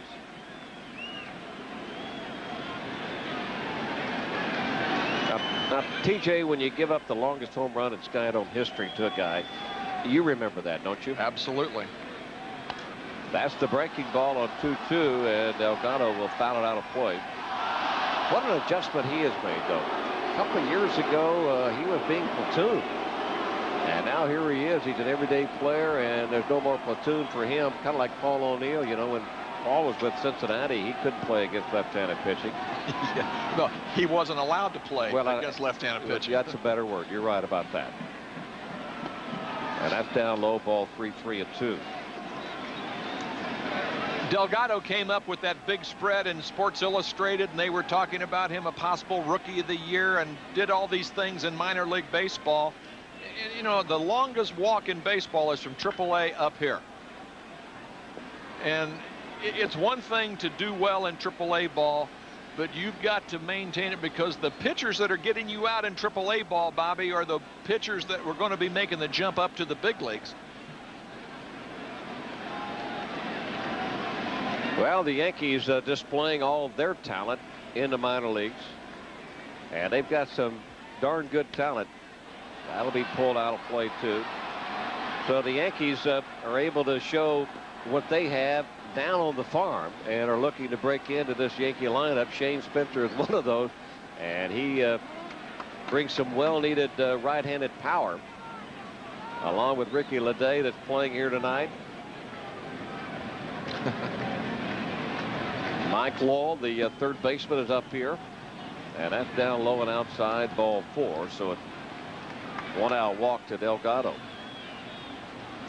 The Yankee farm clubs, uh, Bobby, uh, that that's their their farm system is is really churning out the talent now. I mean, you're talking about Mike Lowell. Mike Lowell was uh, the one that was in that um, uh, Randy Johnson. And while we have time, we like to congratulate Tampa of the A uh, League down in Florida. They defeated Port Charlotte to sweep the uh, best of three semifinal series. Greensboro Bats lost to Columbia in the best of three championship series. It's tied one to one. And Oneonta in the short A League, they were awarded the championship after three consecutive rainouts. So there are three championship teams that the Yankees have in their minor league system, and these guys are going to filter on up through. We want to say hats off, congratulations to those minor league teams.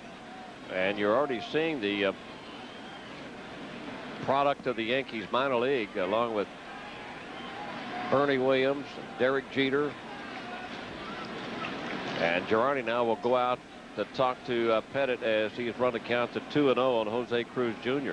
But Bobby, you, you've been around here long enough that how many times have you seen though the Yankees have good teams in the minor leagues and the guys never get up here because they were traded off for veteran ball players. But now they're coming up through the system and what that tells these young kids that are out there being drafted, hey, if I sign with the Yankees, I've got a chance to get through that system and get up and, and play for a championship ball club.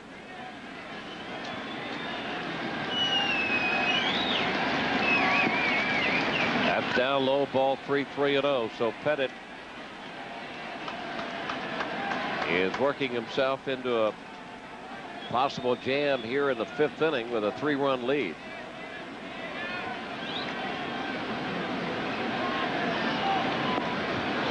Ball four, so back-to-back walks. Toronto now with a couple of men on. That'll bring up Tony Fernandez, and that'll also bring out Mel Stottlemyre.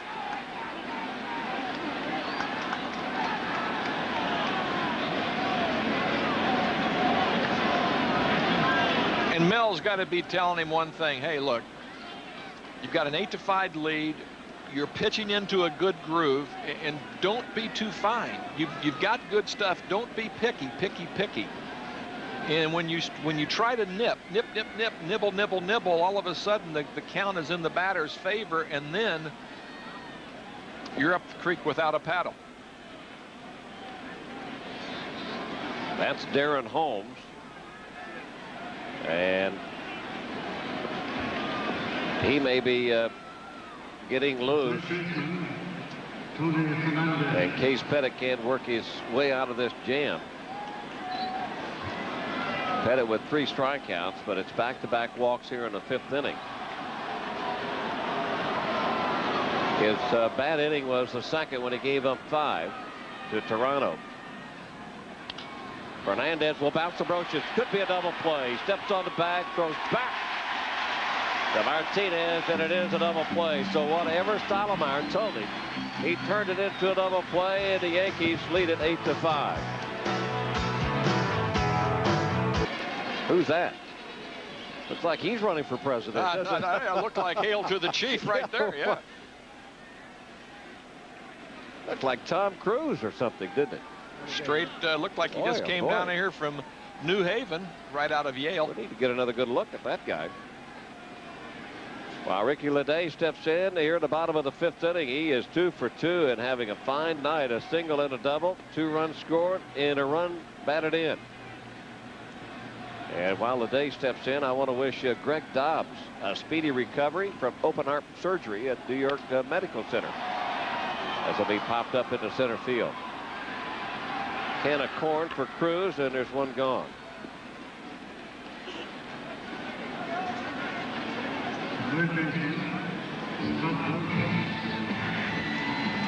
Ricky Ledee hits just a little easy fly ball, but you see him hustling down there. Maybe he thinks deja vu. Maybe he thinks Jose Cruz Jr. might blotch up another one. Good hustle. Not this time, but you're right. Good hustle as Brosius steps in. Brosius a base hit, a sacrifice fly, and an RBI. And strike one to Brosius.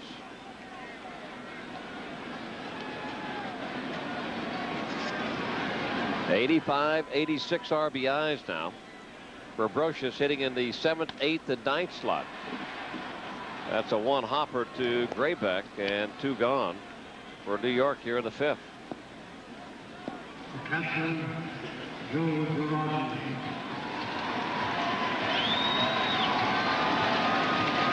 Well, let's take a look at the Toyota box score, and there's a lot to it for the Yankees. That uh, adds up to be 11 hits and O'Neill is three for three with two home runs and three RBIs.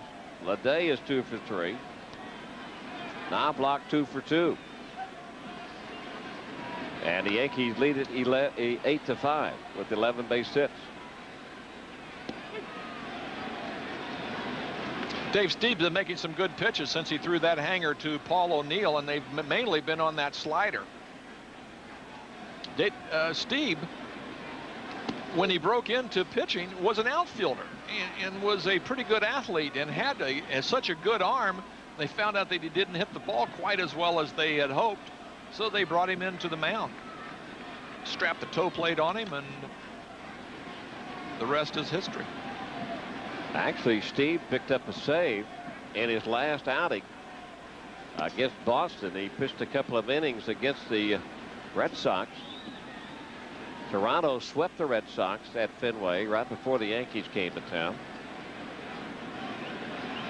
And Toronto in New York for this four-game series before they head off to Cleveland and then Detroit.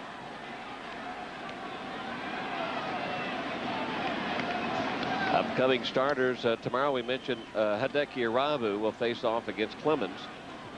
And then Saturday David Cone will try to win number 20 as he leads the American League and wins. Oh, what a job he did up in Boston. That's high and tight. Would he face one over the minimum in his seven innings? Faced 22 hitters. Struck out 11.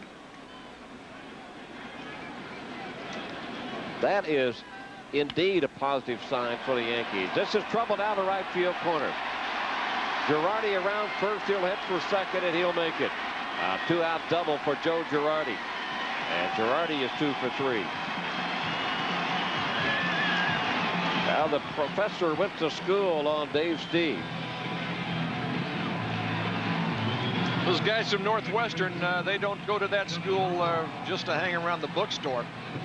Joe Girardi got a high hanging slider and you see why uh, Joe Torre likes to hit and run with him because he's got that stroke down, hitting the ball to right field. Last time he hit a slider and hit it to left field and got it over uh, Jose Cruz Jr.'s head. Uh, you mentioned Northwestern. Uh, Joe Girardi, last time we were in Chicago, which was last weekend, he got a chance to go see that Northwestern football game. That's over the head of Knoblauch. so he got a chance to go uh, watch them uh, in their debut here in 1998 and got a chance to watch at least the first half.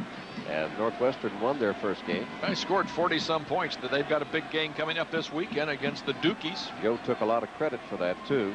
I'm sure. Down low for a ball. Knoblauch had been plunked 17 times by opposing pitchers. That's uh, obviously tops in the American League. You'll never guess who's second.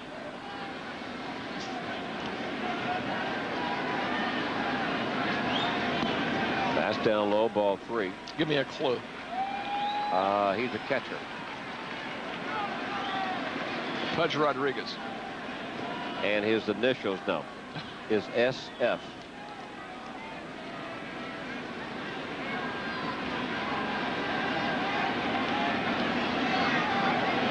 Sal Fasano.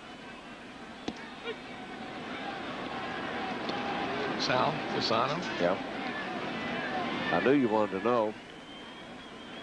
Sal Fasano? Yeah, he's been hit uh, 16 times. On deck is Jeter.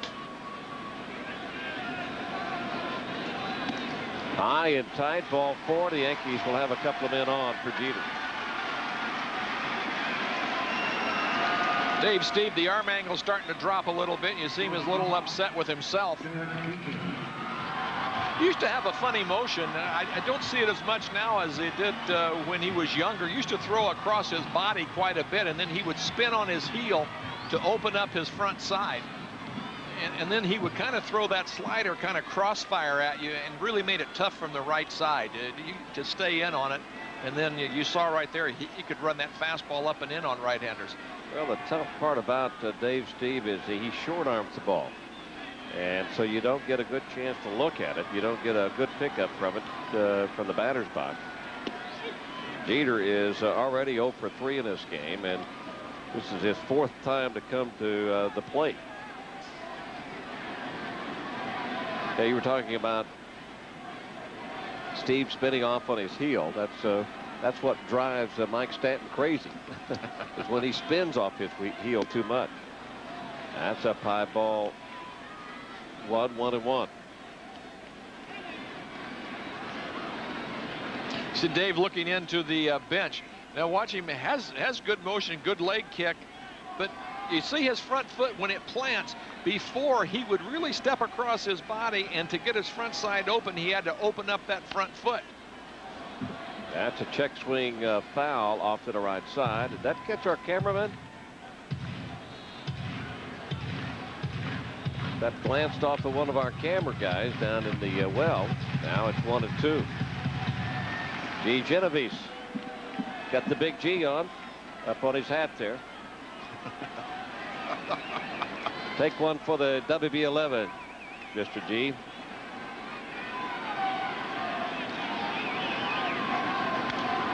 Another pitch foul back and out of play.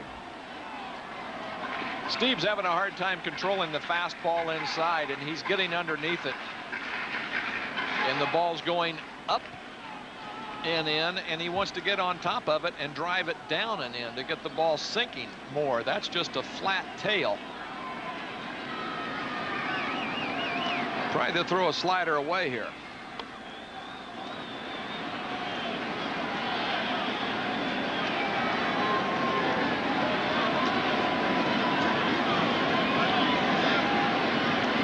Dave Stieb struggling as Steve Sinclair begins to warm up now for Toronto.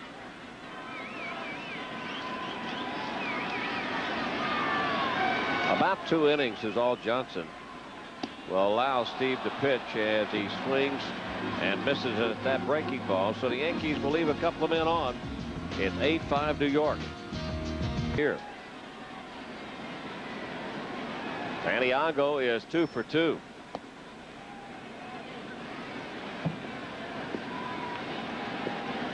Joe Torre and Mel Stottlemyre would like to see Andy have a real nice inning right here and give him six innings of work. And if he does that, I think they will probably go to the bullpen and let uh, Darren Holmes and Jeff Nelson and everybody else take part in the in in the ball game.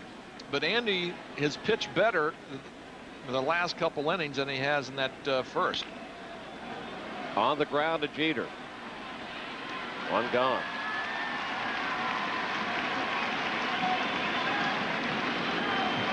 Well, let's take a look at the American League East champions. Uh, starting back in 1976.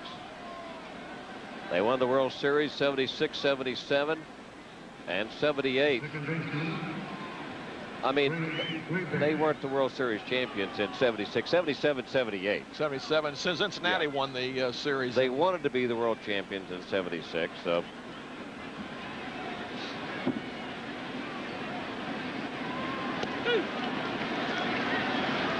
You Grebeck uh, takes a call strike. In that 1980 season was the year that the Yankees won 103 ball games and then ended up losing three straight to Kansas City.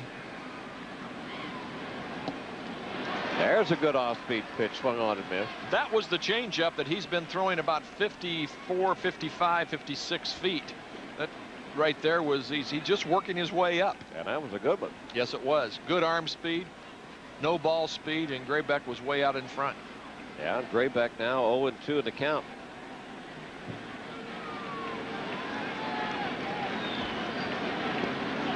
Another one swung on and missed. Strike three. Back-to-back -back changeups and two beauties as he strikes out Grebeck.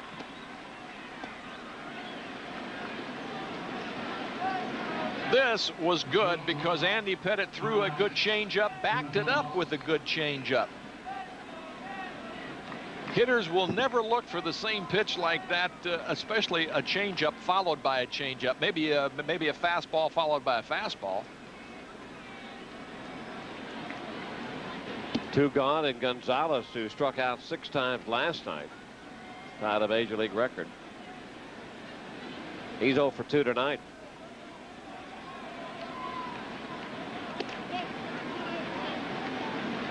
Pettitte's had one easy inning through this six, and that came in the fourth when the Jays went down one, two, three.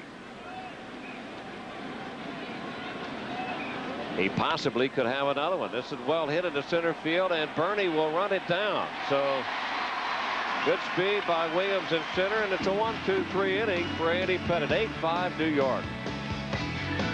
Well, back at the stadium on a beautiful night for baseball. New York leads at 8-5 over Toronto, and Toronto now in with their third pitcher of the game.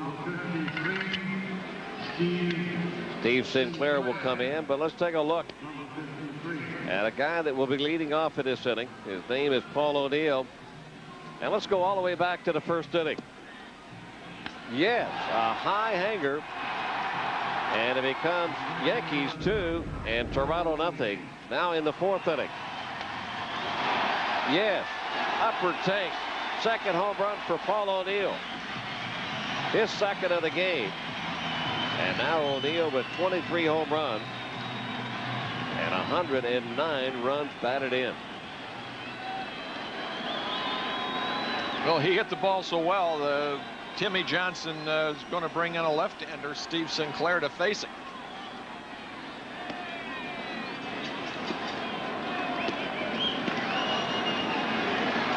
The Blue Jays only have a couple of left-handers in their bullpen, along with Sinclair as Plesac. Well, they Plesac is the guy that uh, they go to when the game's on the line. But they want to give this youngster uh, a chance to pitch, and you're, you're down eight to five. And the best way to do it is throw him into the fire. Steel only gets hardened when it's heated.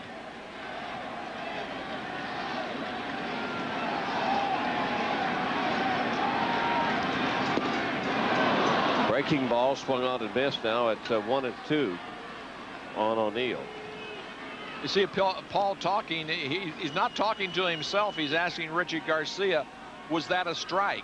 And Richie motioned, yes, it is.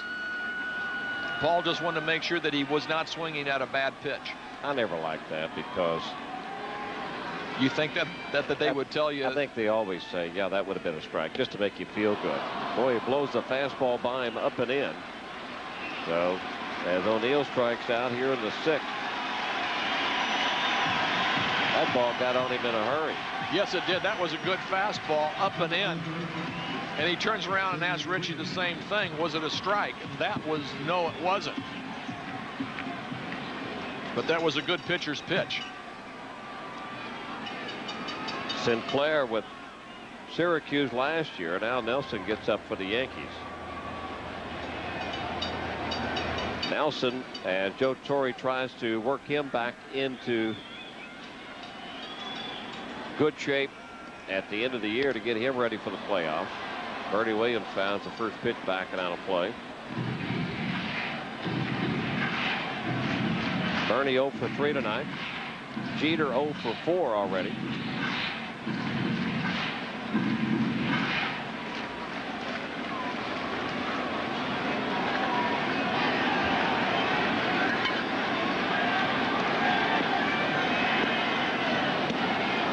Up high. Well, the one thing, this is one of the reasons that Uh, I think Joe Torre said if if you had to give somebody an edge in this batting race, probably would give it to Bernie because of his switch hitting abilities. He said, take it from me, it's a lot easier to have that ball breaking into you than away from you. I don't have to take it from him, I know. and you're right. Boy, I'll tell you what, to have the advantage to turn around and hit right-handed when there's a left-hander out there, where Jeter, uh, nothing but a right-handed hitter, he could be 0 for 4, but you couldn't tell it. He loves to play baseball, and he has a lot of fun doing it. If you go down the street, Bobby, and and and watch little kids play ball. The kids are out there eight, nine, ten years old, but they're out there playing. They're having fun. You're at this level, it's a job, but it's still the game that you played when you were eight, nine, ten years old, and you have fun. A lot of guys waiting to be called upon on both benches, just in case uh, Johnson or Torre needs them. A one-out walk to uh, Williams. That'll bring up Tino Martinez. Yankees lead at 8 to 5.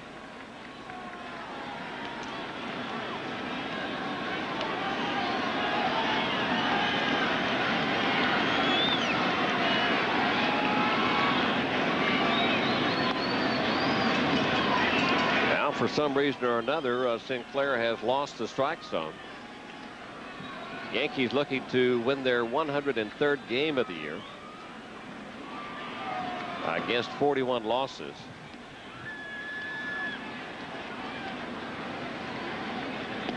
There's the breaking ball in for a call strike. The Yankees have been in first place 141 consecutive days. That's coming into this game. That, uh, that's pretty good uh, domination, I would say. That's the breaking ball. Now it's two and one.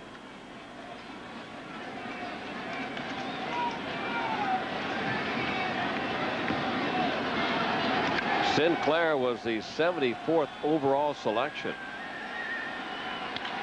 That is hit hard. Delgado knocks it down. He'll go to force the runner at second and does it. So Bernie is gone and there's two outs here in the sixth.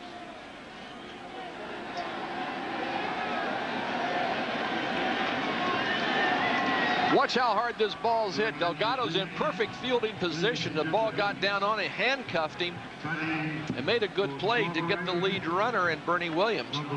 The reason that play was tough, he's throwing the ball right over Bernie's shoulder. And Gonzalez, the shortstop, has really got to be concentrating on the ball because it can come out of that uh, runner and all of a sudden it's on you. Well, we've got a pinch hitter now for Strawberry. As Chili Davis comes in, and Chili is batting only from the right side for New York at this present time as he continues to try to heal that other side that got some pull muscle in it. So he's not able to bat from the left side, but he swings a pretty potent bat from the right side. So Strawberry and him kind of alternating back and forth. Chili with a couple of home runs and seven RBI.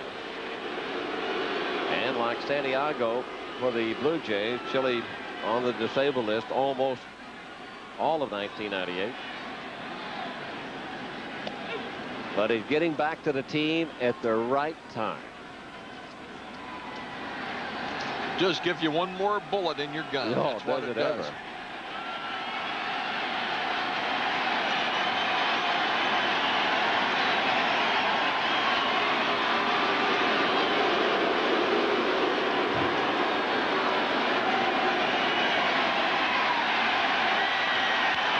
That'll be out of play as uh, the Yankee fans try to wave here at the stadium. And while they're doing that, I want to wish a happy 46th anniversary to Lynn and Lorraine Chalizzi. 46 wonderful years.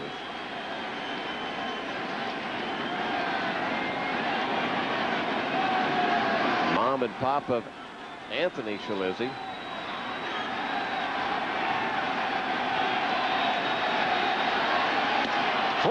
Strike three. Sinclair strikes out a couple of men here in the sixth. The Yankees leave a man on. 8-5 New York. Big Jeff Nelson.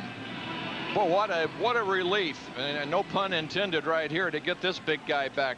It's only his 38th game, but the the big thing Joe Torre and Mel Stottlemyre want is how do you come back from pitching one, two, three days in a row? Will your back stiffen up?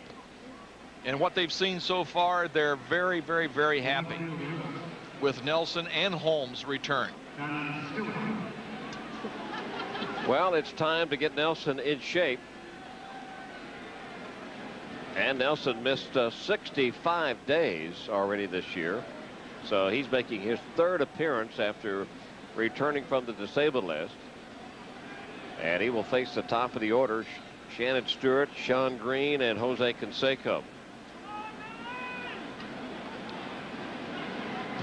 A big missing piece of the puzzle for Joe Torre in that bullpen as Nelson and Stanton used to work them over and then turn it over to Rivera.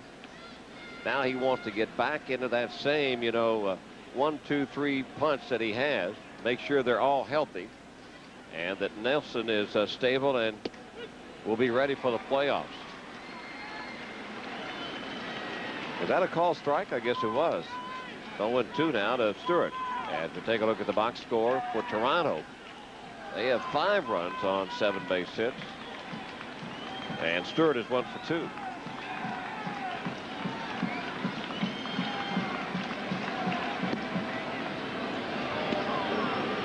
Nelly is extremely hard to pick up from the right side as he comes by the way of third base. And the big Aussie gets up, Graeme Lloyd. Another big part of the pitcher for the Yankees in the bullpen. And just missing outside on that one. Now it's two and two. That was good pitch, good location. The only problem that didn't get the good call.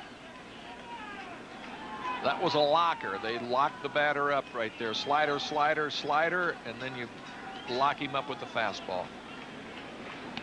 And the breaking ball foul back and out of play. Well, those old herniated discs, you know, those things uh, can be so painful. And anytime you've had any problems with your back or pain in your back, it just affects the whole body. You just can't move. And the Yankee uh, doctors and trainers have done an excellent job rehabbing Jeff Nelson along with him and hard work to get himself back to this position. And the breaking ball is on the outside corner strike three. So Stewart is gone. And like you said, Bobby, he's so hard to pick up. He's big. He pitches from the third base side of the rubber. And dropping down, that was just a breaking ball that started on the inside corner and stayed on the plate all the way. Well, what do you do? I mean, you're bailing out and the ball's going away from you. How do you hit it? The only way you hit Jeff Nelson is if he makes a mistake and hangs something on the inside part, and that, that hits you right in the bail. Well, Shawn Green will step in. He's two for three. Well, really, the only way you can hit Nelson from the right side is that you take a couple of big guy wires up there with you, and you and you attach them to both of your feet, and you nail them down so that you can't bail out and you can hang in there. and take your chances that way. You, you're going to laugh at this one. That one will not be laughed at by Shawn Green.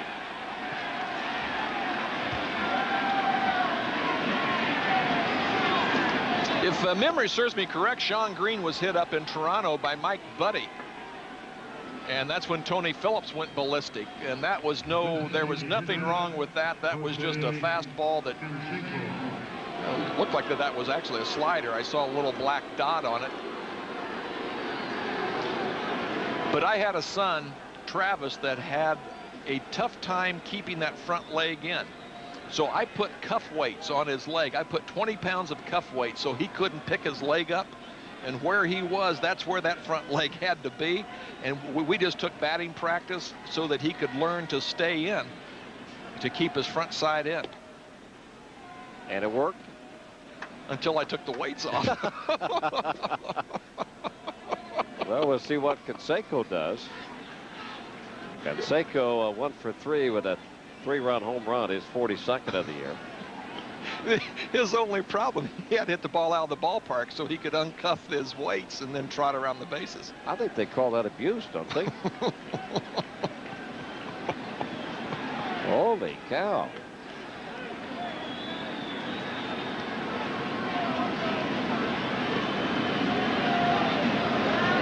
Now this uh, this should be a pretty good matchup here. Canseco, the big strong hitter against Nelson, the big strong right-hander.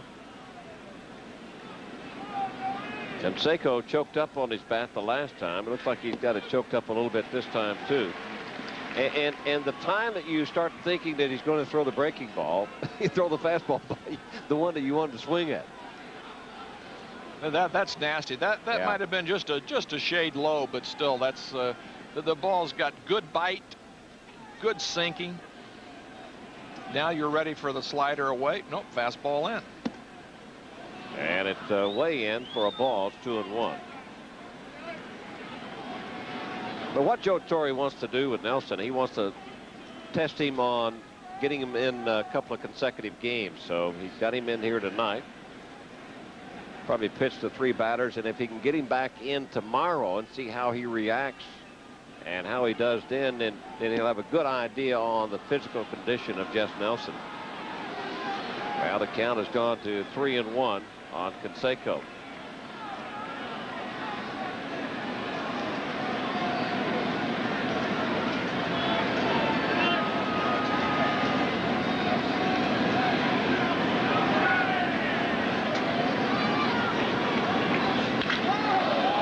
Lined hard, but foul. And it took about uh, 25 people with it. Well, that ball ricocheted off about 25 gourds down the left field line. 3-1 fastball.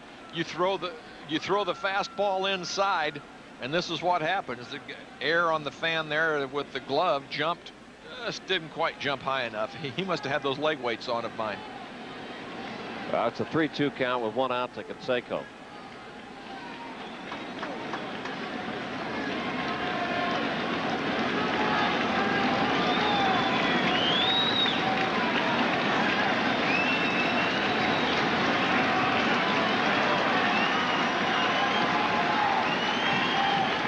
The runner will take off and the pitch is swung on and throw down to second not in time. So Canseco strikes out for the second time. And there's two gone. And that's going to bring Joe Torre out. Carlos Delgado, the left-handed bat, is coming up. He's got Graeme Lloyd up in the bullpen, and this is what he has been doing all year long. This is what Torre likes to do, that's what Jeff Nelson likes to do, striking out big right-handed hitters. So the move has been made, and the left-hander will come in to pitch to Delgado. Good job again by Nelson. Yankees lead at 8 to 5 the men out here, eight to five. Nelson tipping the cap to the crowd, and another good job by him. And a couple of slaps on the neck by David Wells. Wells, see, that Wells, yeah, Wells knows how to tip the cap to the crowd. Of course, Wells had a perfect game, and he's trying to show Nelson, look, that was a pretty weak tip of the cap to this great crowd here at Yankee Stadium. If I'm not uh, correct me if I'm wrong, but he he waved Wells, but Boomer waved it like the Babe used to, you know, yeah. wave that cap up there like that. Well, when your idol is the Babe, you've got to emulate him as well as you can. You know, whenever you talk about Babe Ruth, I think of John Goodman in in the, yeah. in the show. right now, Lloyd has to worry about Delgado.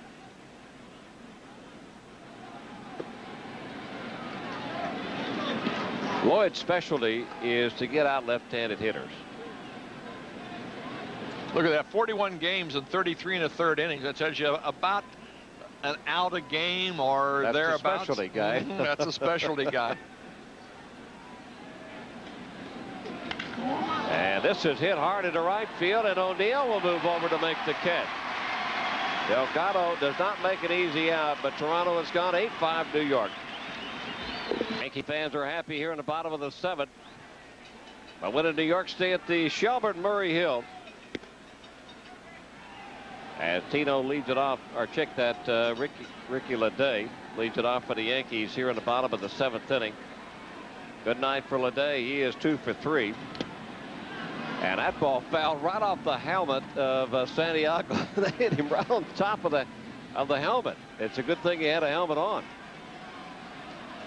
You can remember when the catchers didn't wear the helmets, right? Just Yeah. just had the regular cloth hat.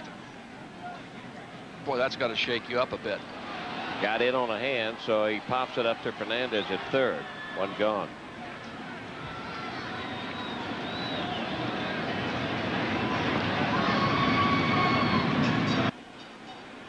Well, we're in the American League, so we're going to make a pitching change. Sinclair is gone with one out here in the bottom of the seventh. We'll be back right after this. Yankee fans try to pick up that American League East champion souvenir. Another pitching change. Carlos Almanzar comes in to pitch. Carlos Almanzar was called uh, up uh, the 17th of August from their Syracuse ball club. He was three and six down there with 10 saves, a 231 ERA. Come up here, he's one and two with a 643 ERA in 18 games and 21 innings. Good live fastball. Good arm on this young man. from the Dominican Republic. And the batter is Brosius. Brosius one for two tonight.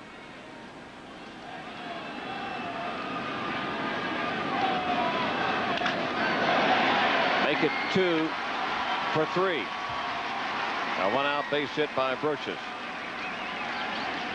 Well, this has been a dream season for Scott Brosius, and he has done everything to turn his year around and also his baseball career around after coming over from Oakland. Terrible year for him last year. And he's hitting coming into this game 294. He's got a couple of hits tonight, so he's on his way to 300 with 17 home runs and 85, 86 RBIs. And he's got a division championship already underneath his belt.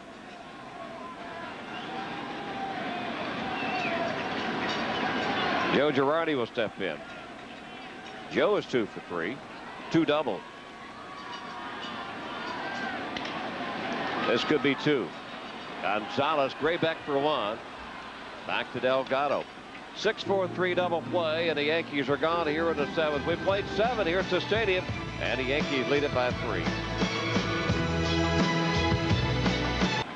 This copyrighted telecast is authorized under rights granted by the New York Yankees solely for the private non-commercial use of our audience.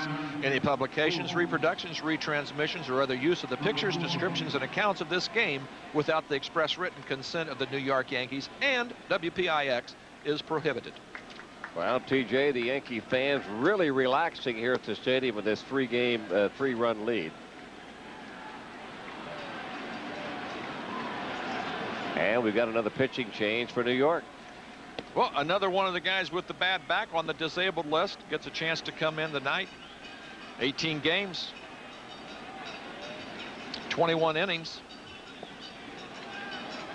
You know what? The Yankees have come up with something uh, a little bit different here at Yankee Stadium. We talked about the batting circles.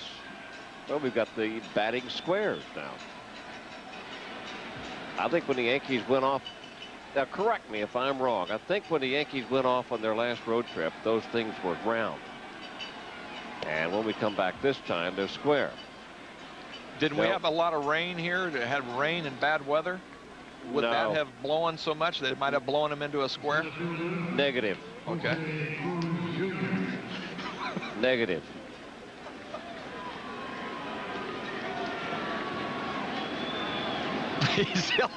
Watch out. Watch out, Shane.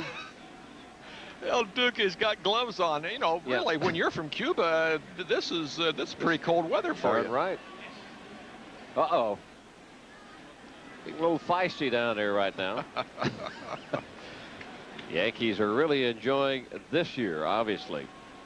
And Darren Holmes working his way back off the disabled list. Jose Cruz Jr. leads it off here in the eighth.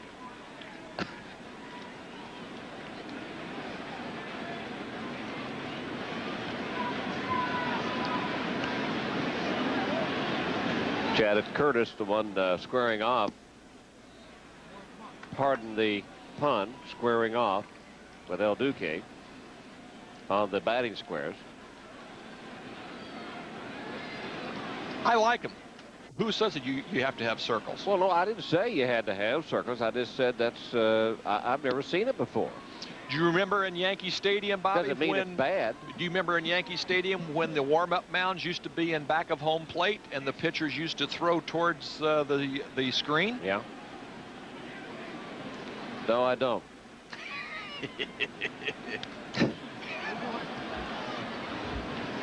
two balls, two strikes to uh, Jose Cruz right there, the warm-up mounds before the game, instead of throwing in the bullpen, the starting pitchers used to throw right there, right back towards home plate. Use your telestrator there.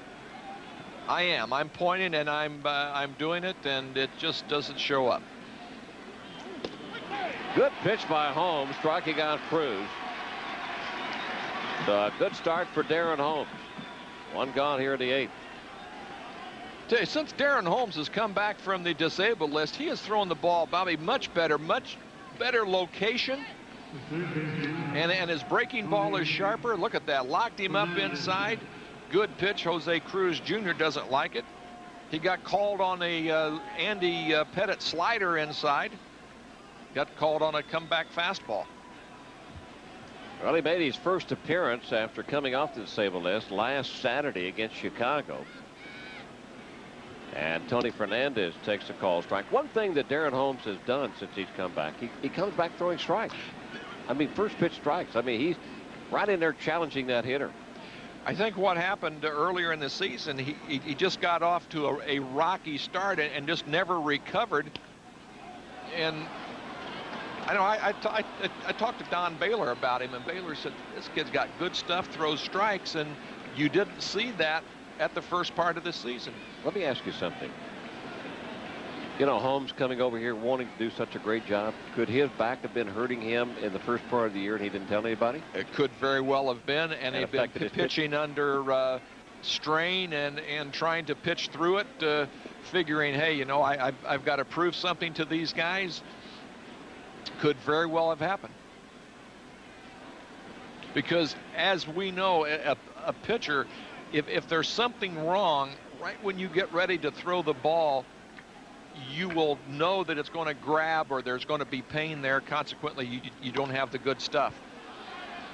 Popped up down the left field line. It'll be back in the stand. That, that That's the pitch I've been impressed with. Well, yeah. he, has got a good fighting curveball. Man, that thing goes. 12 to 6. And he's got uh, Fernandez one ball and two strikes and one out here in the eighth he might be a candidate for that fastball starting off the plate inside and then coming back over like he threw Cruz. Well, it's the heat inside, and it's loaded too far for a ball. Now it's two and two. Now you can follow that pitch, Bobby. That that, that was a, a fastball that kind of moved inside. You can follow that right back again with that comeback on the inside, and that'll lock him up out of play. Fernandez on 11 game hitting streak. Batting 313 now.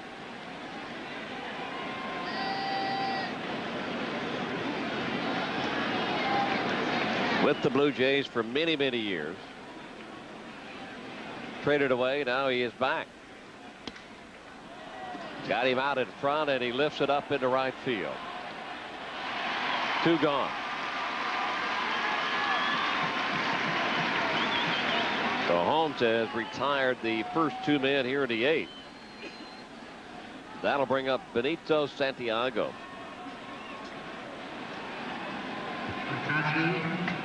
Benito Santiago.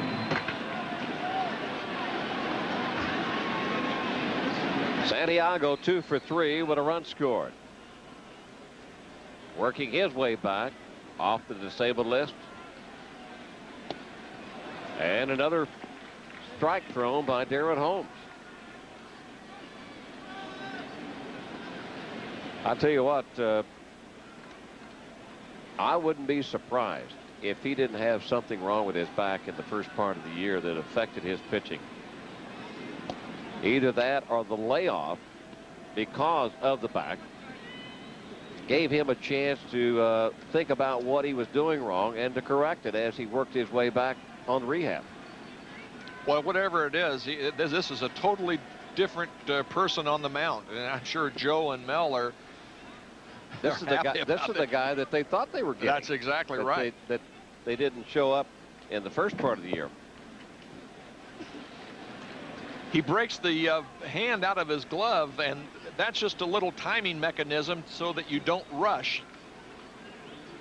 And he throws and gets, you, you can see why his back hurts. He gets a big follow through. That'll be out of play.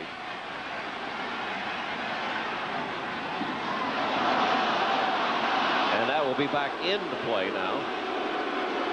Fans are booing the person that dropped that fly ball. It bounces all the way back into the playing field, and the ball boy picks it up.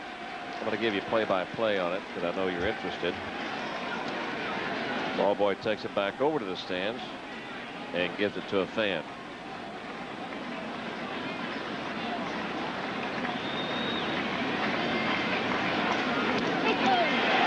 he strikes him out with a good breaking ball on the outside corner. Holmes comes in, strikes out two and three here. In the uh, Yankees lead it eight to five.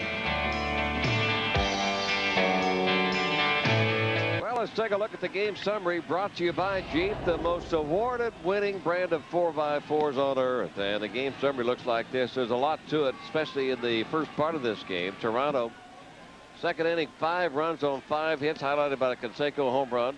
Then O'Neill comes back in the first, but a two-run shot himself. Second uh, inning again, Ledee singled and scored on a Knoblauch single. New York third, four runs on five hits. O'Neill comes back with his second home run in the fourth inning. A solo shot into the upper deck. And Darren Holmes comes in to pitch the eighth inning striking out two or three, so he is on his way back. And I know Joe Torre and Stottlemyre are happy to have Nelson and Holmes back and pitching very well. As we said, Bobby, earlier, the playoffs is all about pitching. And if you've got one more quality arm out there, it just gives you, boy, gives you more ammunition that you can go. You know, plus you'll have a starter out there, obviously. Knoblauch two for two. He has walked twice. Boy, that's a pretty nasty pitch right there.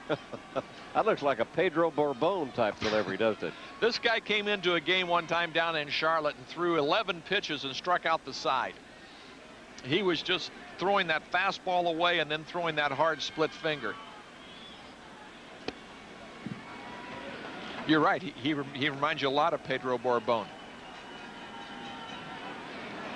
Senior. One and two count on Knoblauch.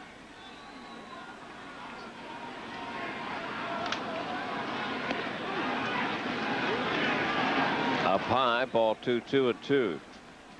Yankees have banged out 13 base hits, for which Knoblauch has two of the 13.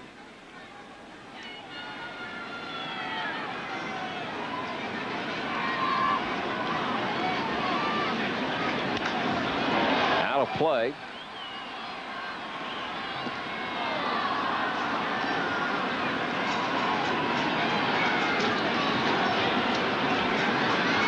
Yankees looking to win their 103rd game. I like to quote that Joe Torre said, the closest I ever came to 100 was 99 losses with the Mets in 1979. I saw that. That was a great one. That's a chopper to Gonzalez, and there's one gone. Well, Joe, you don't have to worry about it anymore because you've got 100 on the right side this time. you've got 103 possibly tonight. It's been a great run for Joe here in New York. And the Yankees uh, continue to warm up their pitchers. That's Mike Buddie, the right-hander, and of course Stanton, the left-hander.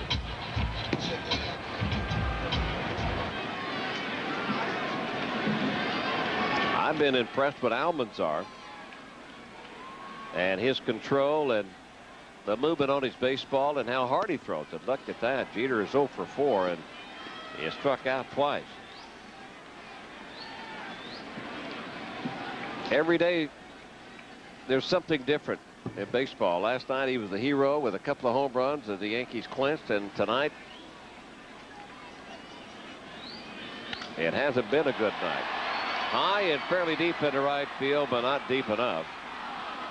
And Derek Jeter is 0 for 5.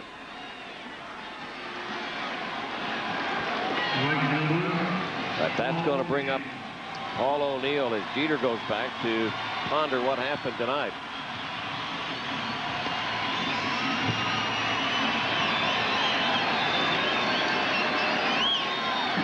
And that brings out Tim Johnson, and uh, Timmy makes the call to the bullpen for the left-hander Dan Plesac, the ex-Milwaukee Brewer. Well, another pitching change here at the stadium. We'll be back right after this. Well, it makes no different if, difference if Derek Jeter is 0 for 5. She still loves Derek Jeter. So let's check the upcoming telecast brought to you by Ford. Expect more, get more, let you tri-state Ford store show you why there's more to afford. And tomorrow, as the Blue Jays continue this four-game series, MSG will take over.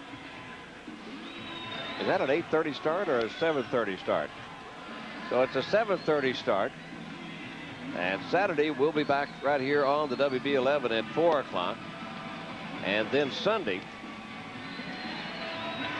We'll conclude this four-game series at 1.30 right here on the WB11. Then the Red Sox come to town Monday and Tuesday, both on MSG. And another pitching change, Mr. TJ. What a job Big Dan Plesac has done. It was once the closer for the Brewers, and now he comes in. He's the Graeme Lloyd, Mike Stanton uh, with the Toronto Blue Jays, gets the left-handers out. And that's what Mel Queen and Tim Johnson has him for. And, and, and, they said he has done just an outstanding job this year in the role that they have him in. Well, he was used primarily as a setup man in 1997, but he's here to get O'Neill out with a couple of men gone already here at the bottom of the eighth inning. And O'Neill is swinging a hot bat. He's three for four with two home runs. Now he's got back-to-back two-run home run games. And did he check his swing? Nope. He went around a little bit too far, said Hirschbeck down at third. So Plesac in front 0 2.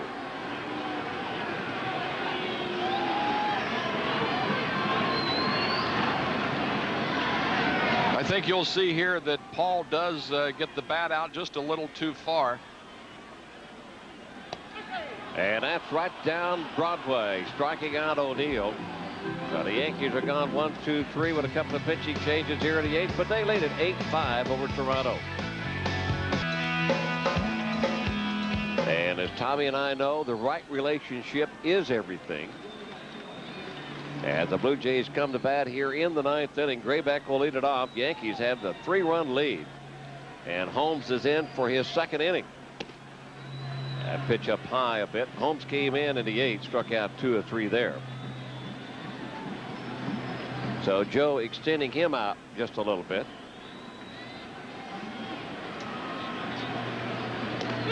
Because Bobby, if he's going to pitch, he, he's going to pitch probably earlier in the game and, and is going to get a couple innings in and you want to stretch him out and see exactly how he goes, especially tonight. It's a little cool.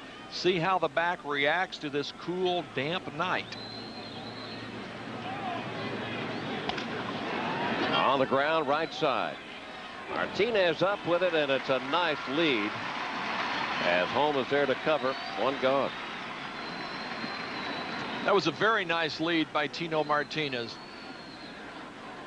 Too many first basemen throw the ball right at the bag. Tino threw the ball before the bag and let Holmes catch it and then continue the run to first base and uh, tag first base without having to catch it and tag it all at once. Tino's wearing that clean look tonight, isn't he? Yes, he is.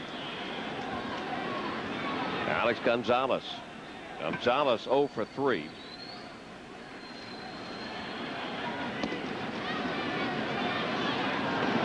Well, Gonzalez thought maybe he would take advantage of Brosius. Brosius was a little bit back of the bag at third, but you only get one shot at that.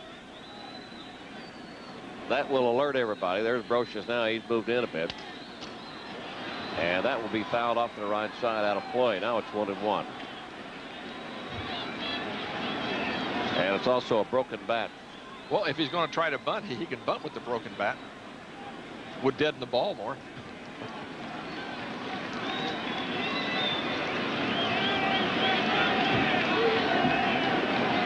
The crowd tonight, 25,881.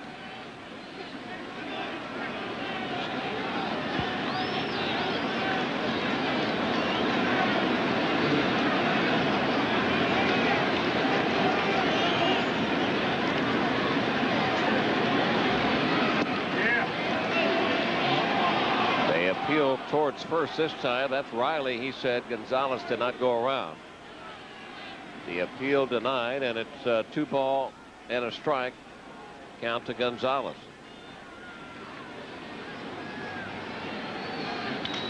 That's off the end of the bat into center field. It will fall in front of Williams for a base hit. One out base hit here in the ninth inning.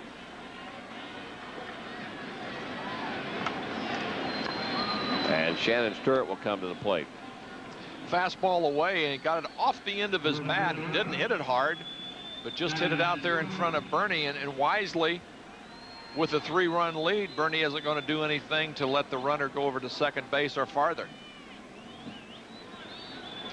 Well, Gonzalez's run doesn't really mean that much.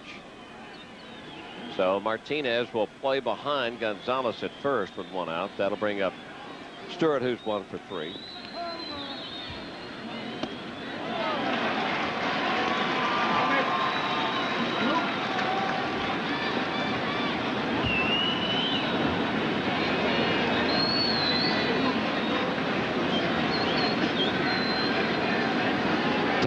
Matchup is Hideki Irabu and Roger Clemens. And there goes Gonzalez down to second, and the throw is not in time. As I mentioned, they were not paying any attention to Gonzalez but the Yankees and a three-run lead.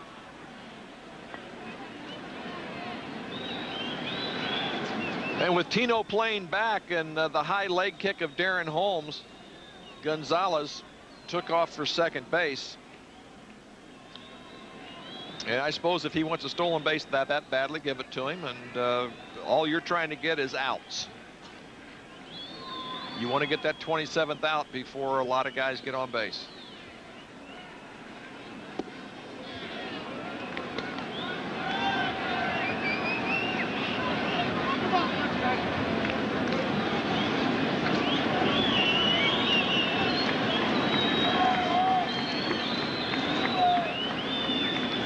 Yankees 53 and 14 here at Yankee Stadium. By far the best home record of anybody in baseball.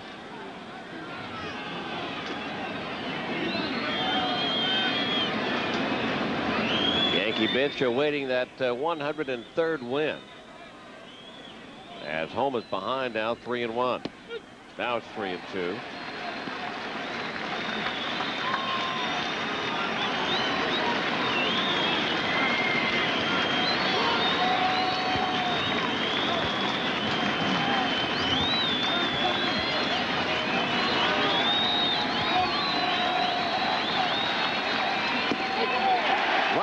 Broadway strike three.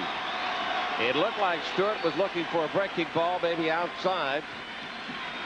And Stewart is struck out, two gone. With a 3-2 count in the top of the ninth inning and you're down three runs, you can't be looking that that ball is on the inside half of the wow, plate. I know it. Oh my heavens. You can't be looking for anything other than a fastball. Well, the Yankees one out away from winning eight to five in this return back to Yankee Stadium, first game of this four-game series. And a tough hitter will step in, Shawn Green. Green is two for three.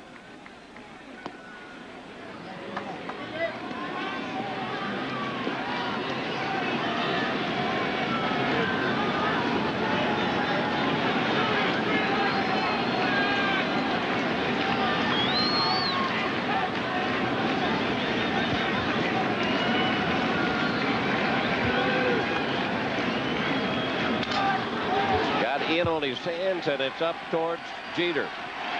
And Jeter makes the catch, and the Yankees will win it eight to five, and a nice job done by Darren Holmes pitching the eighth and the ninth inning.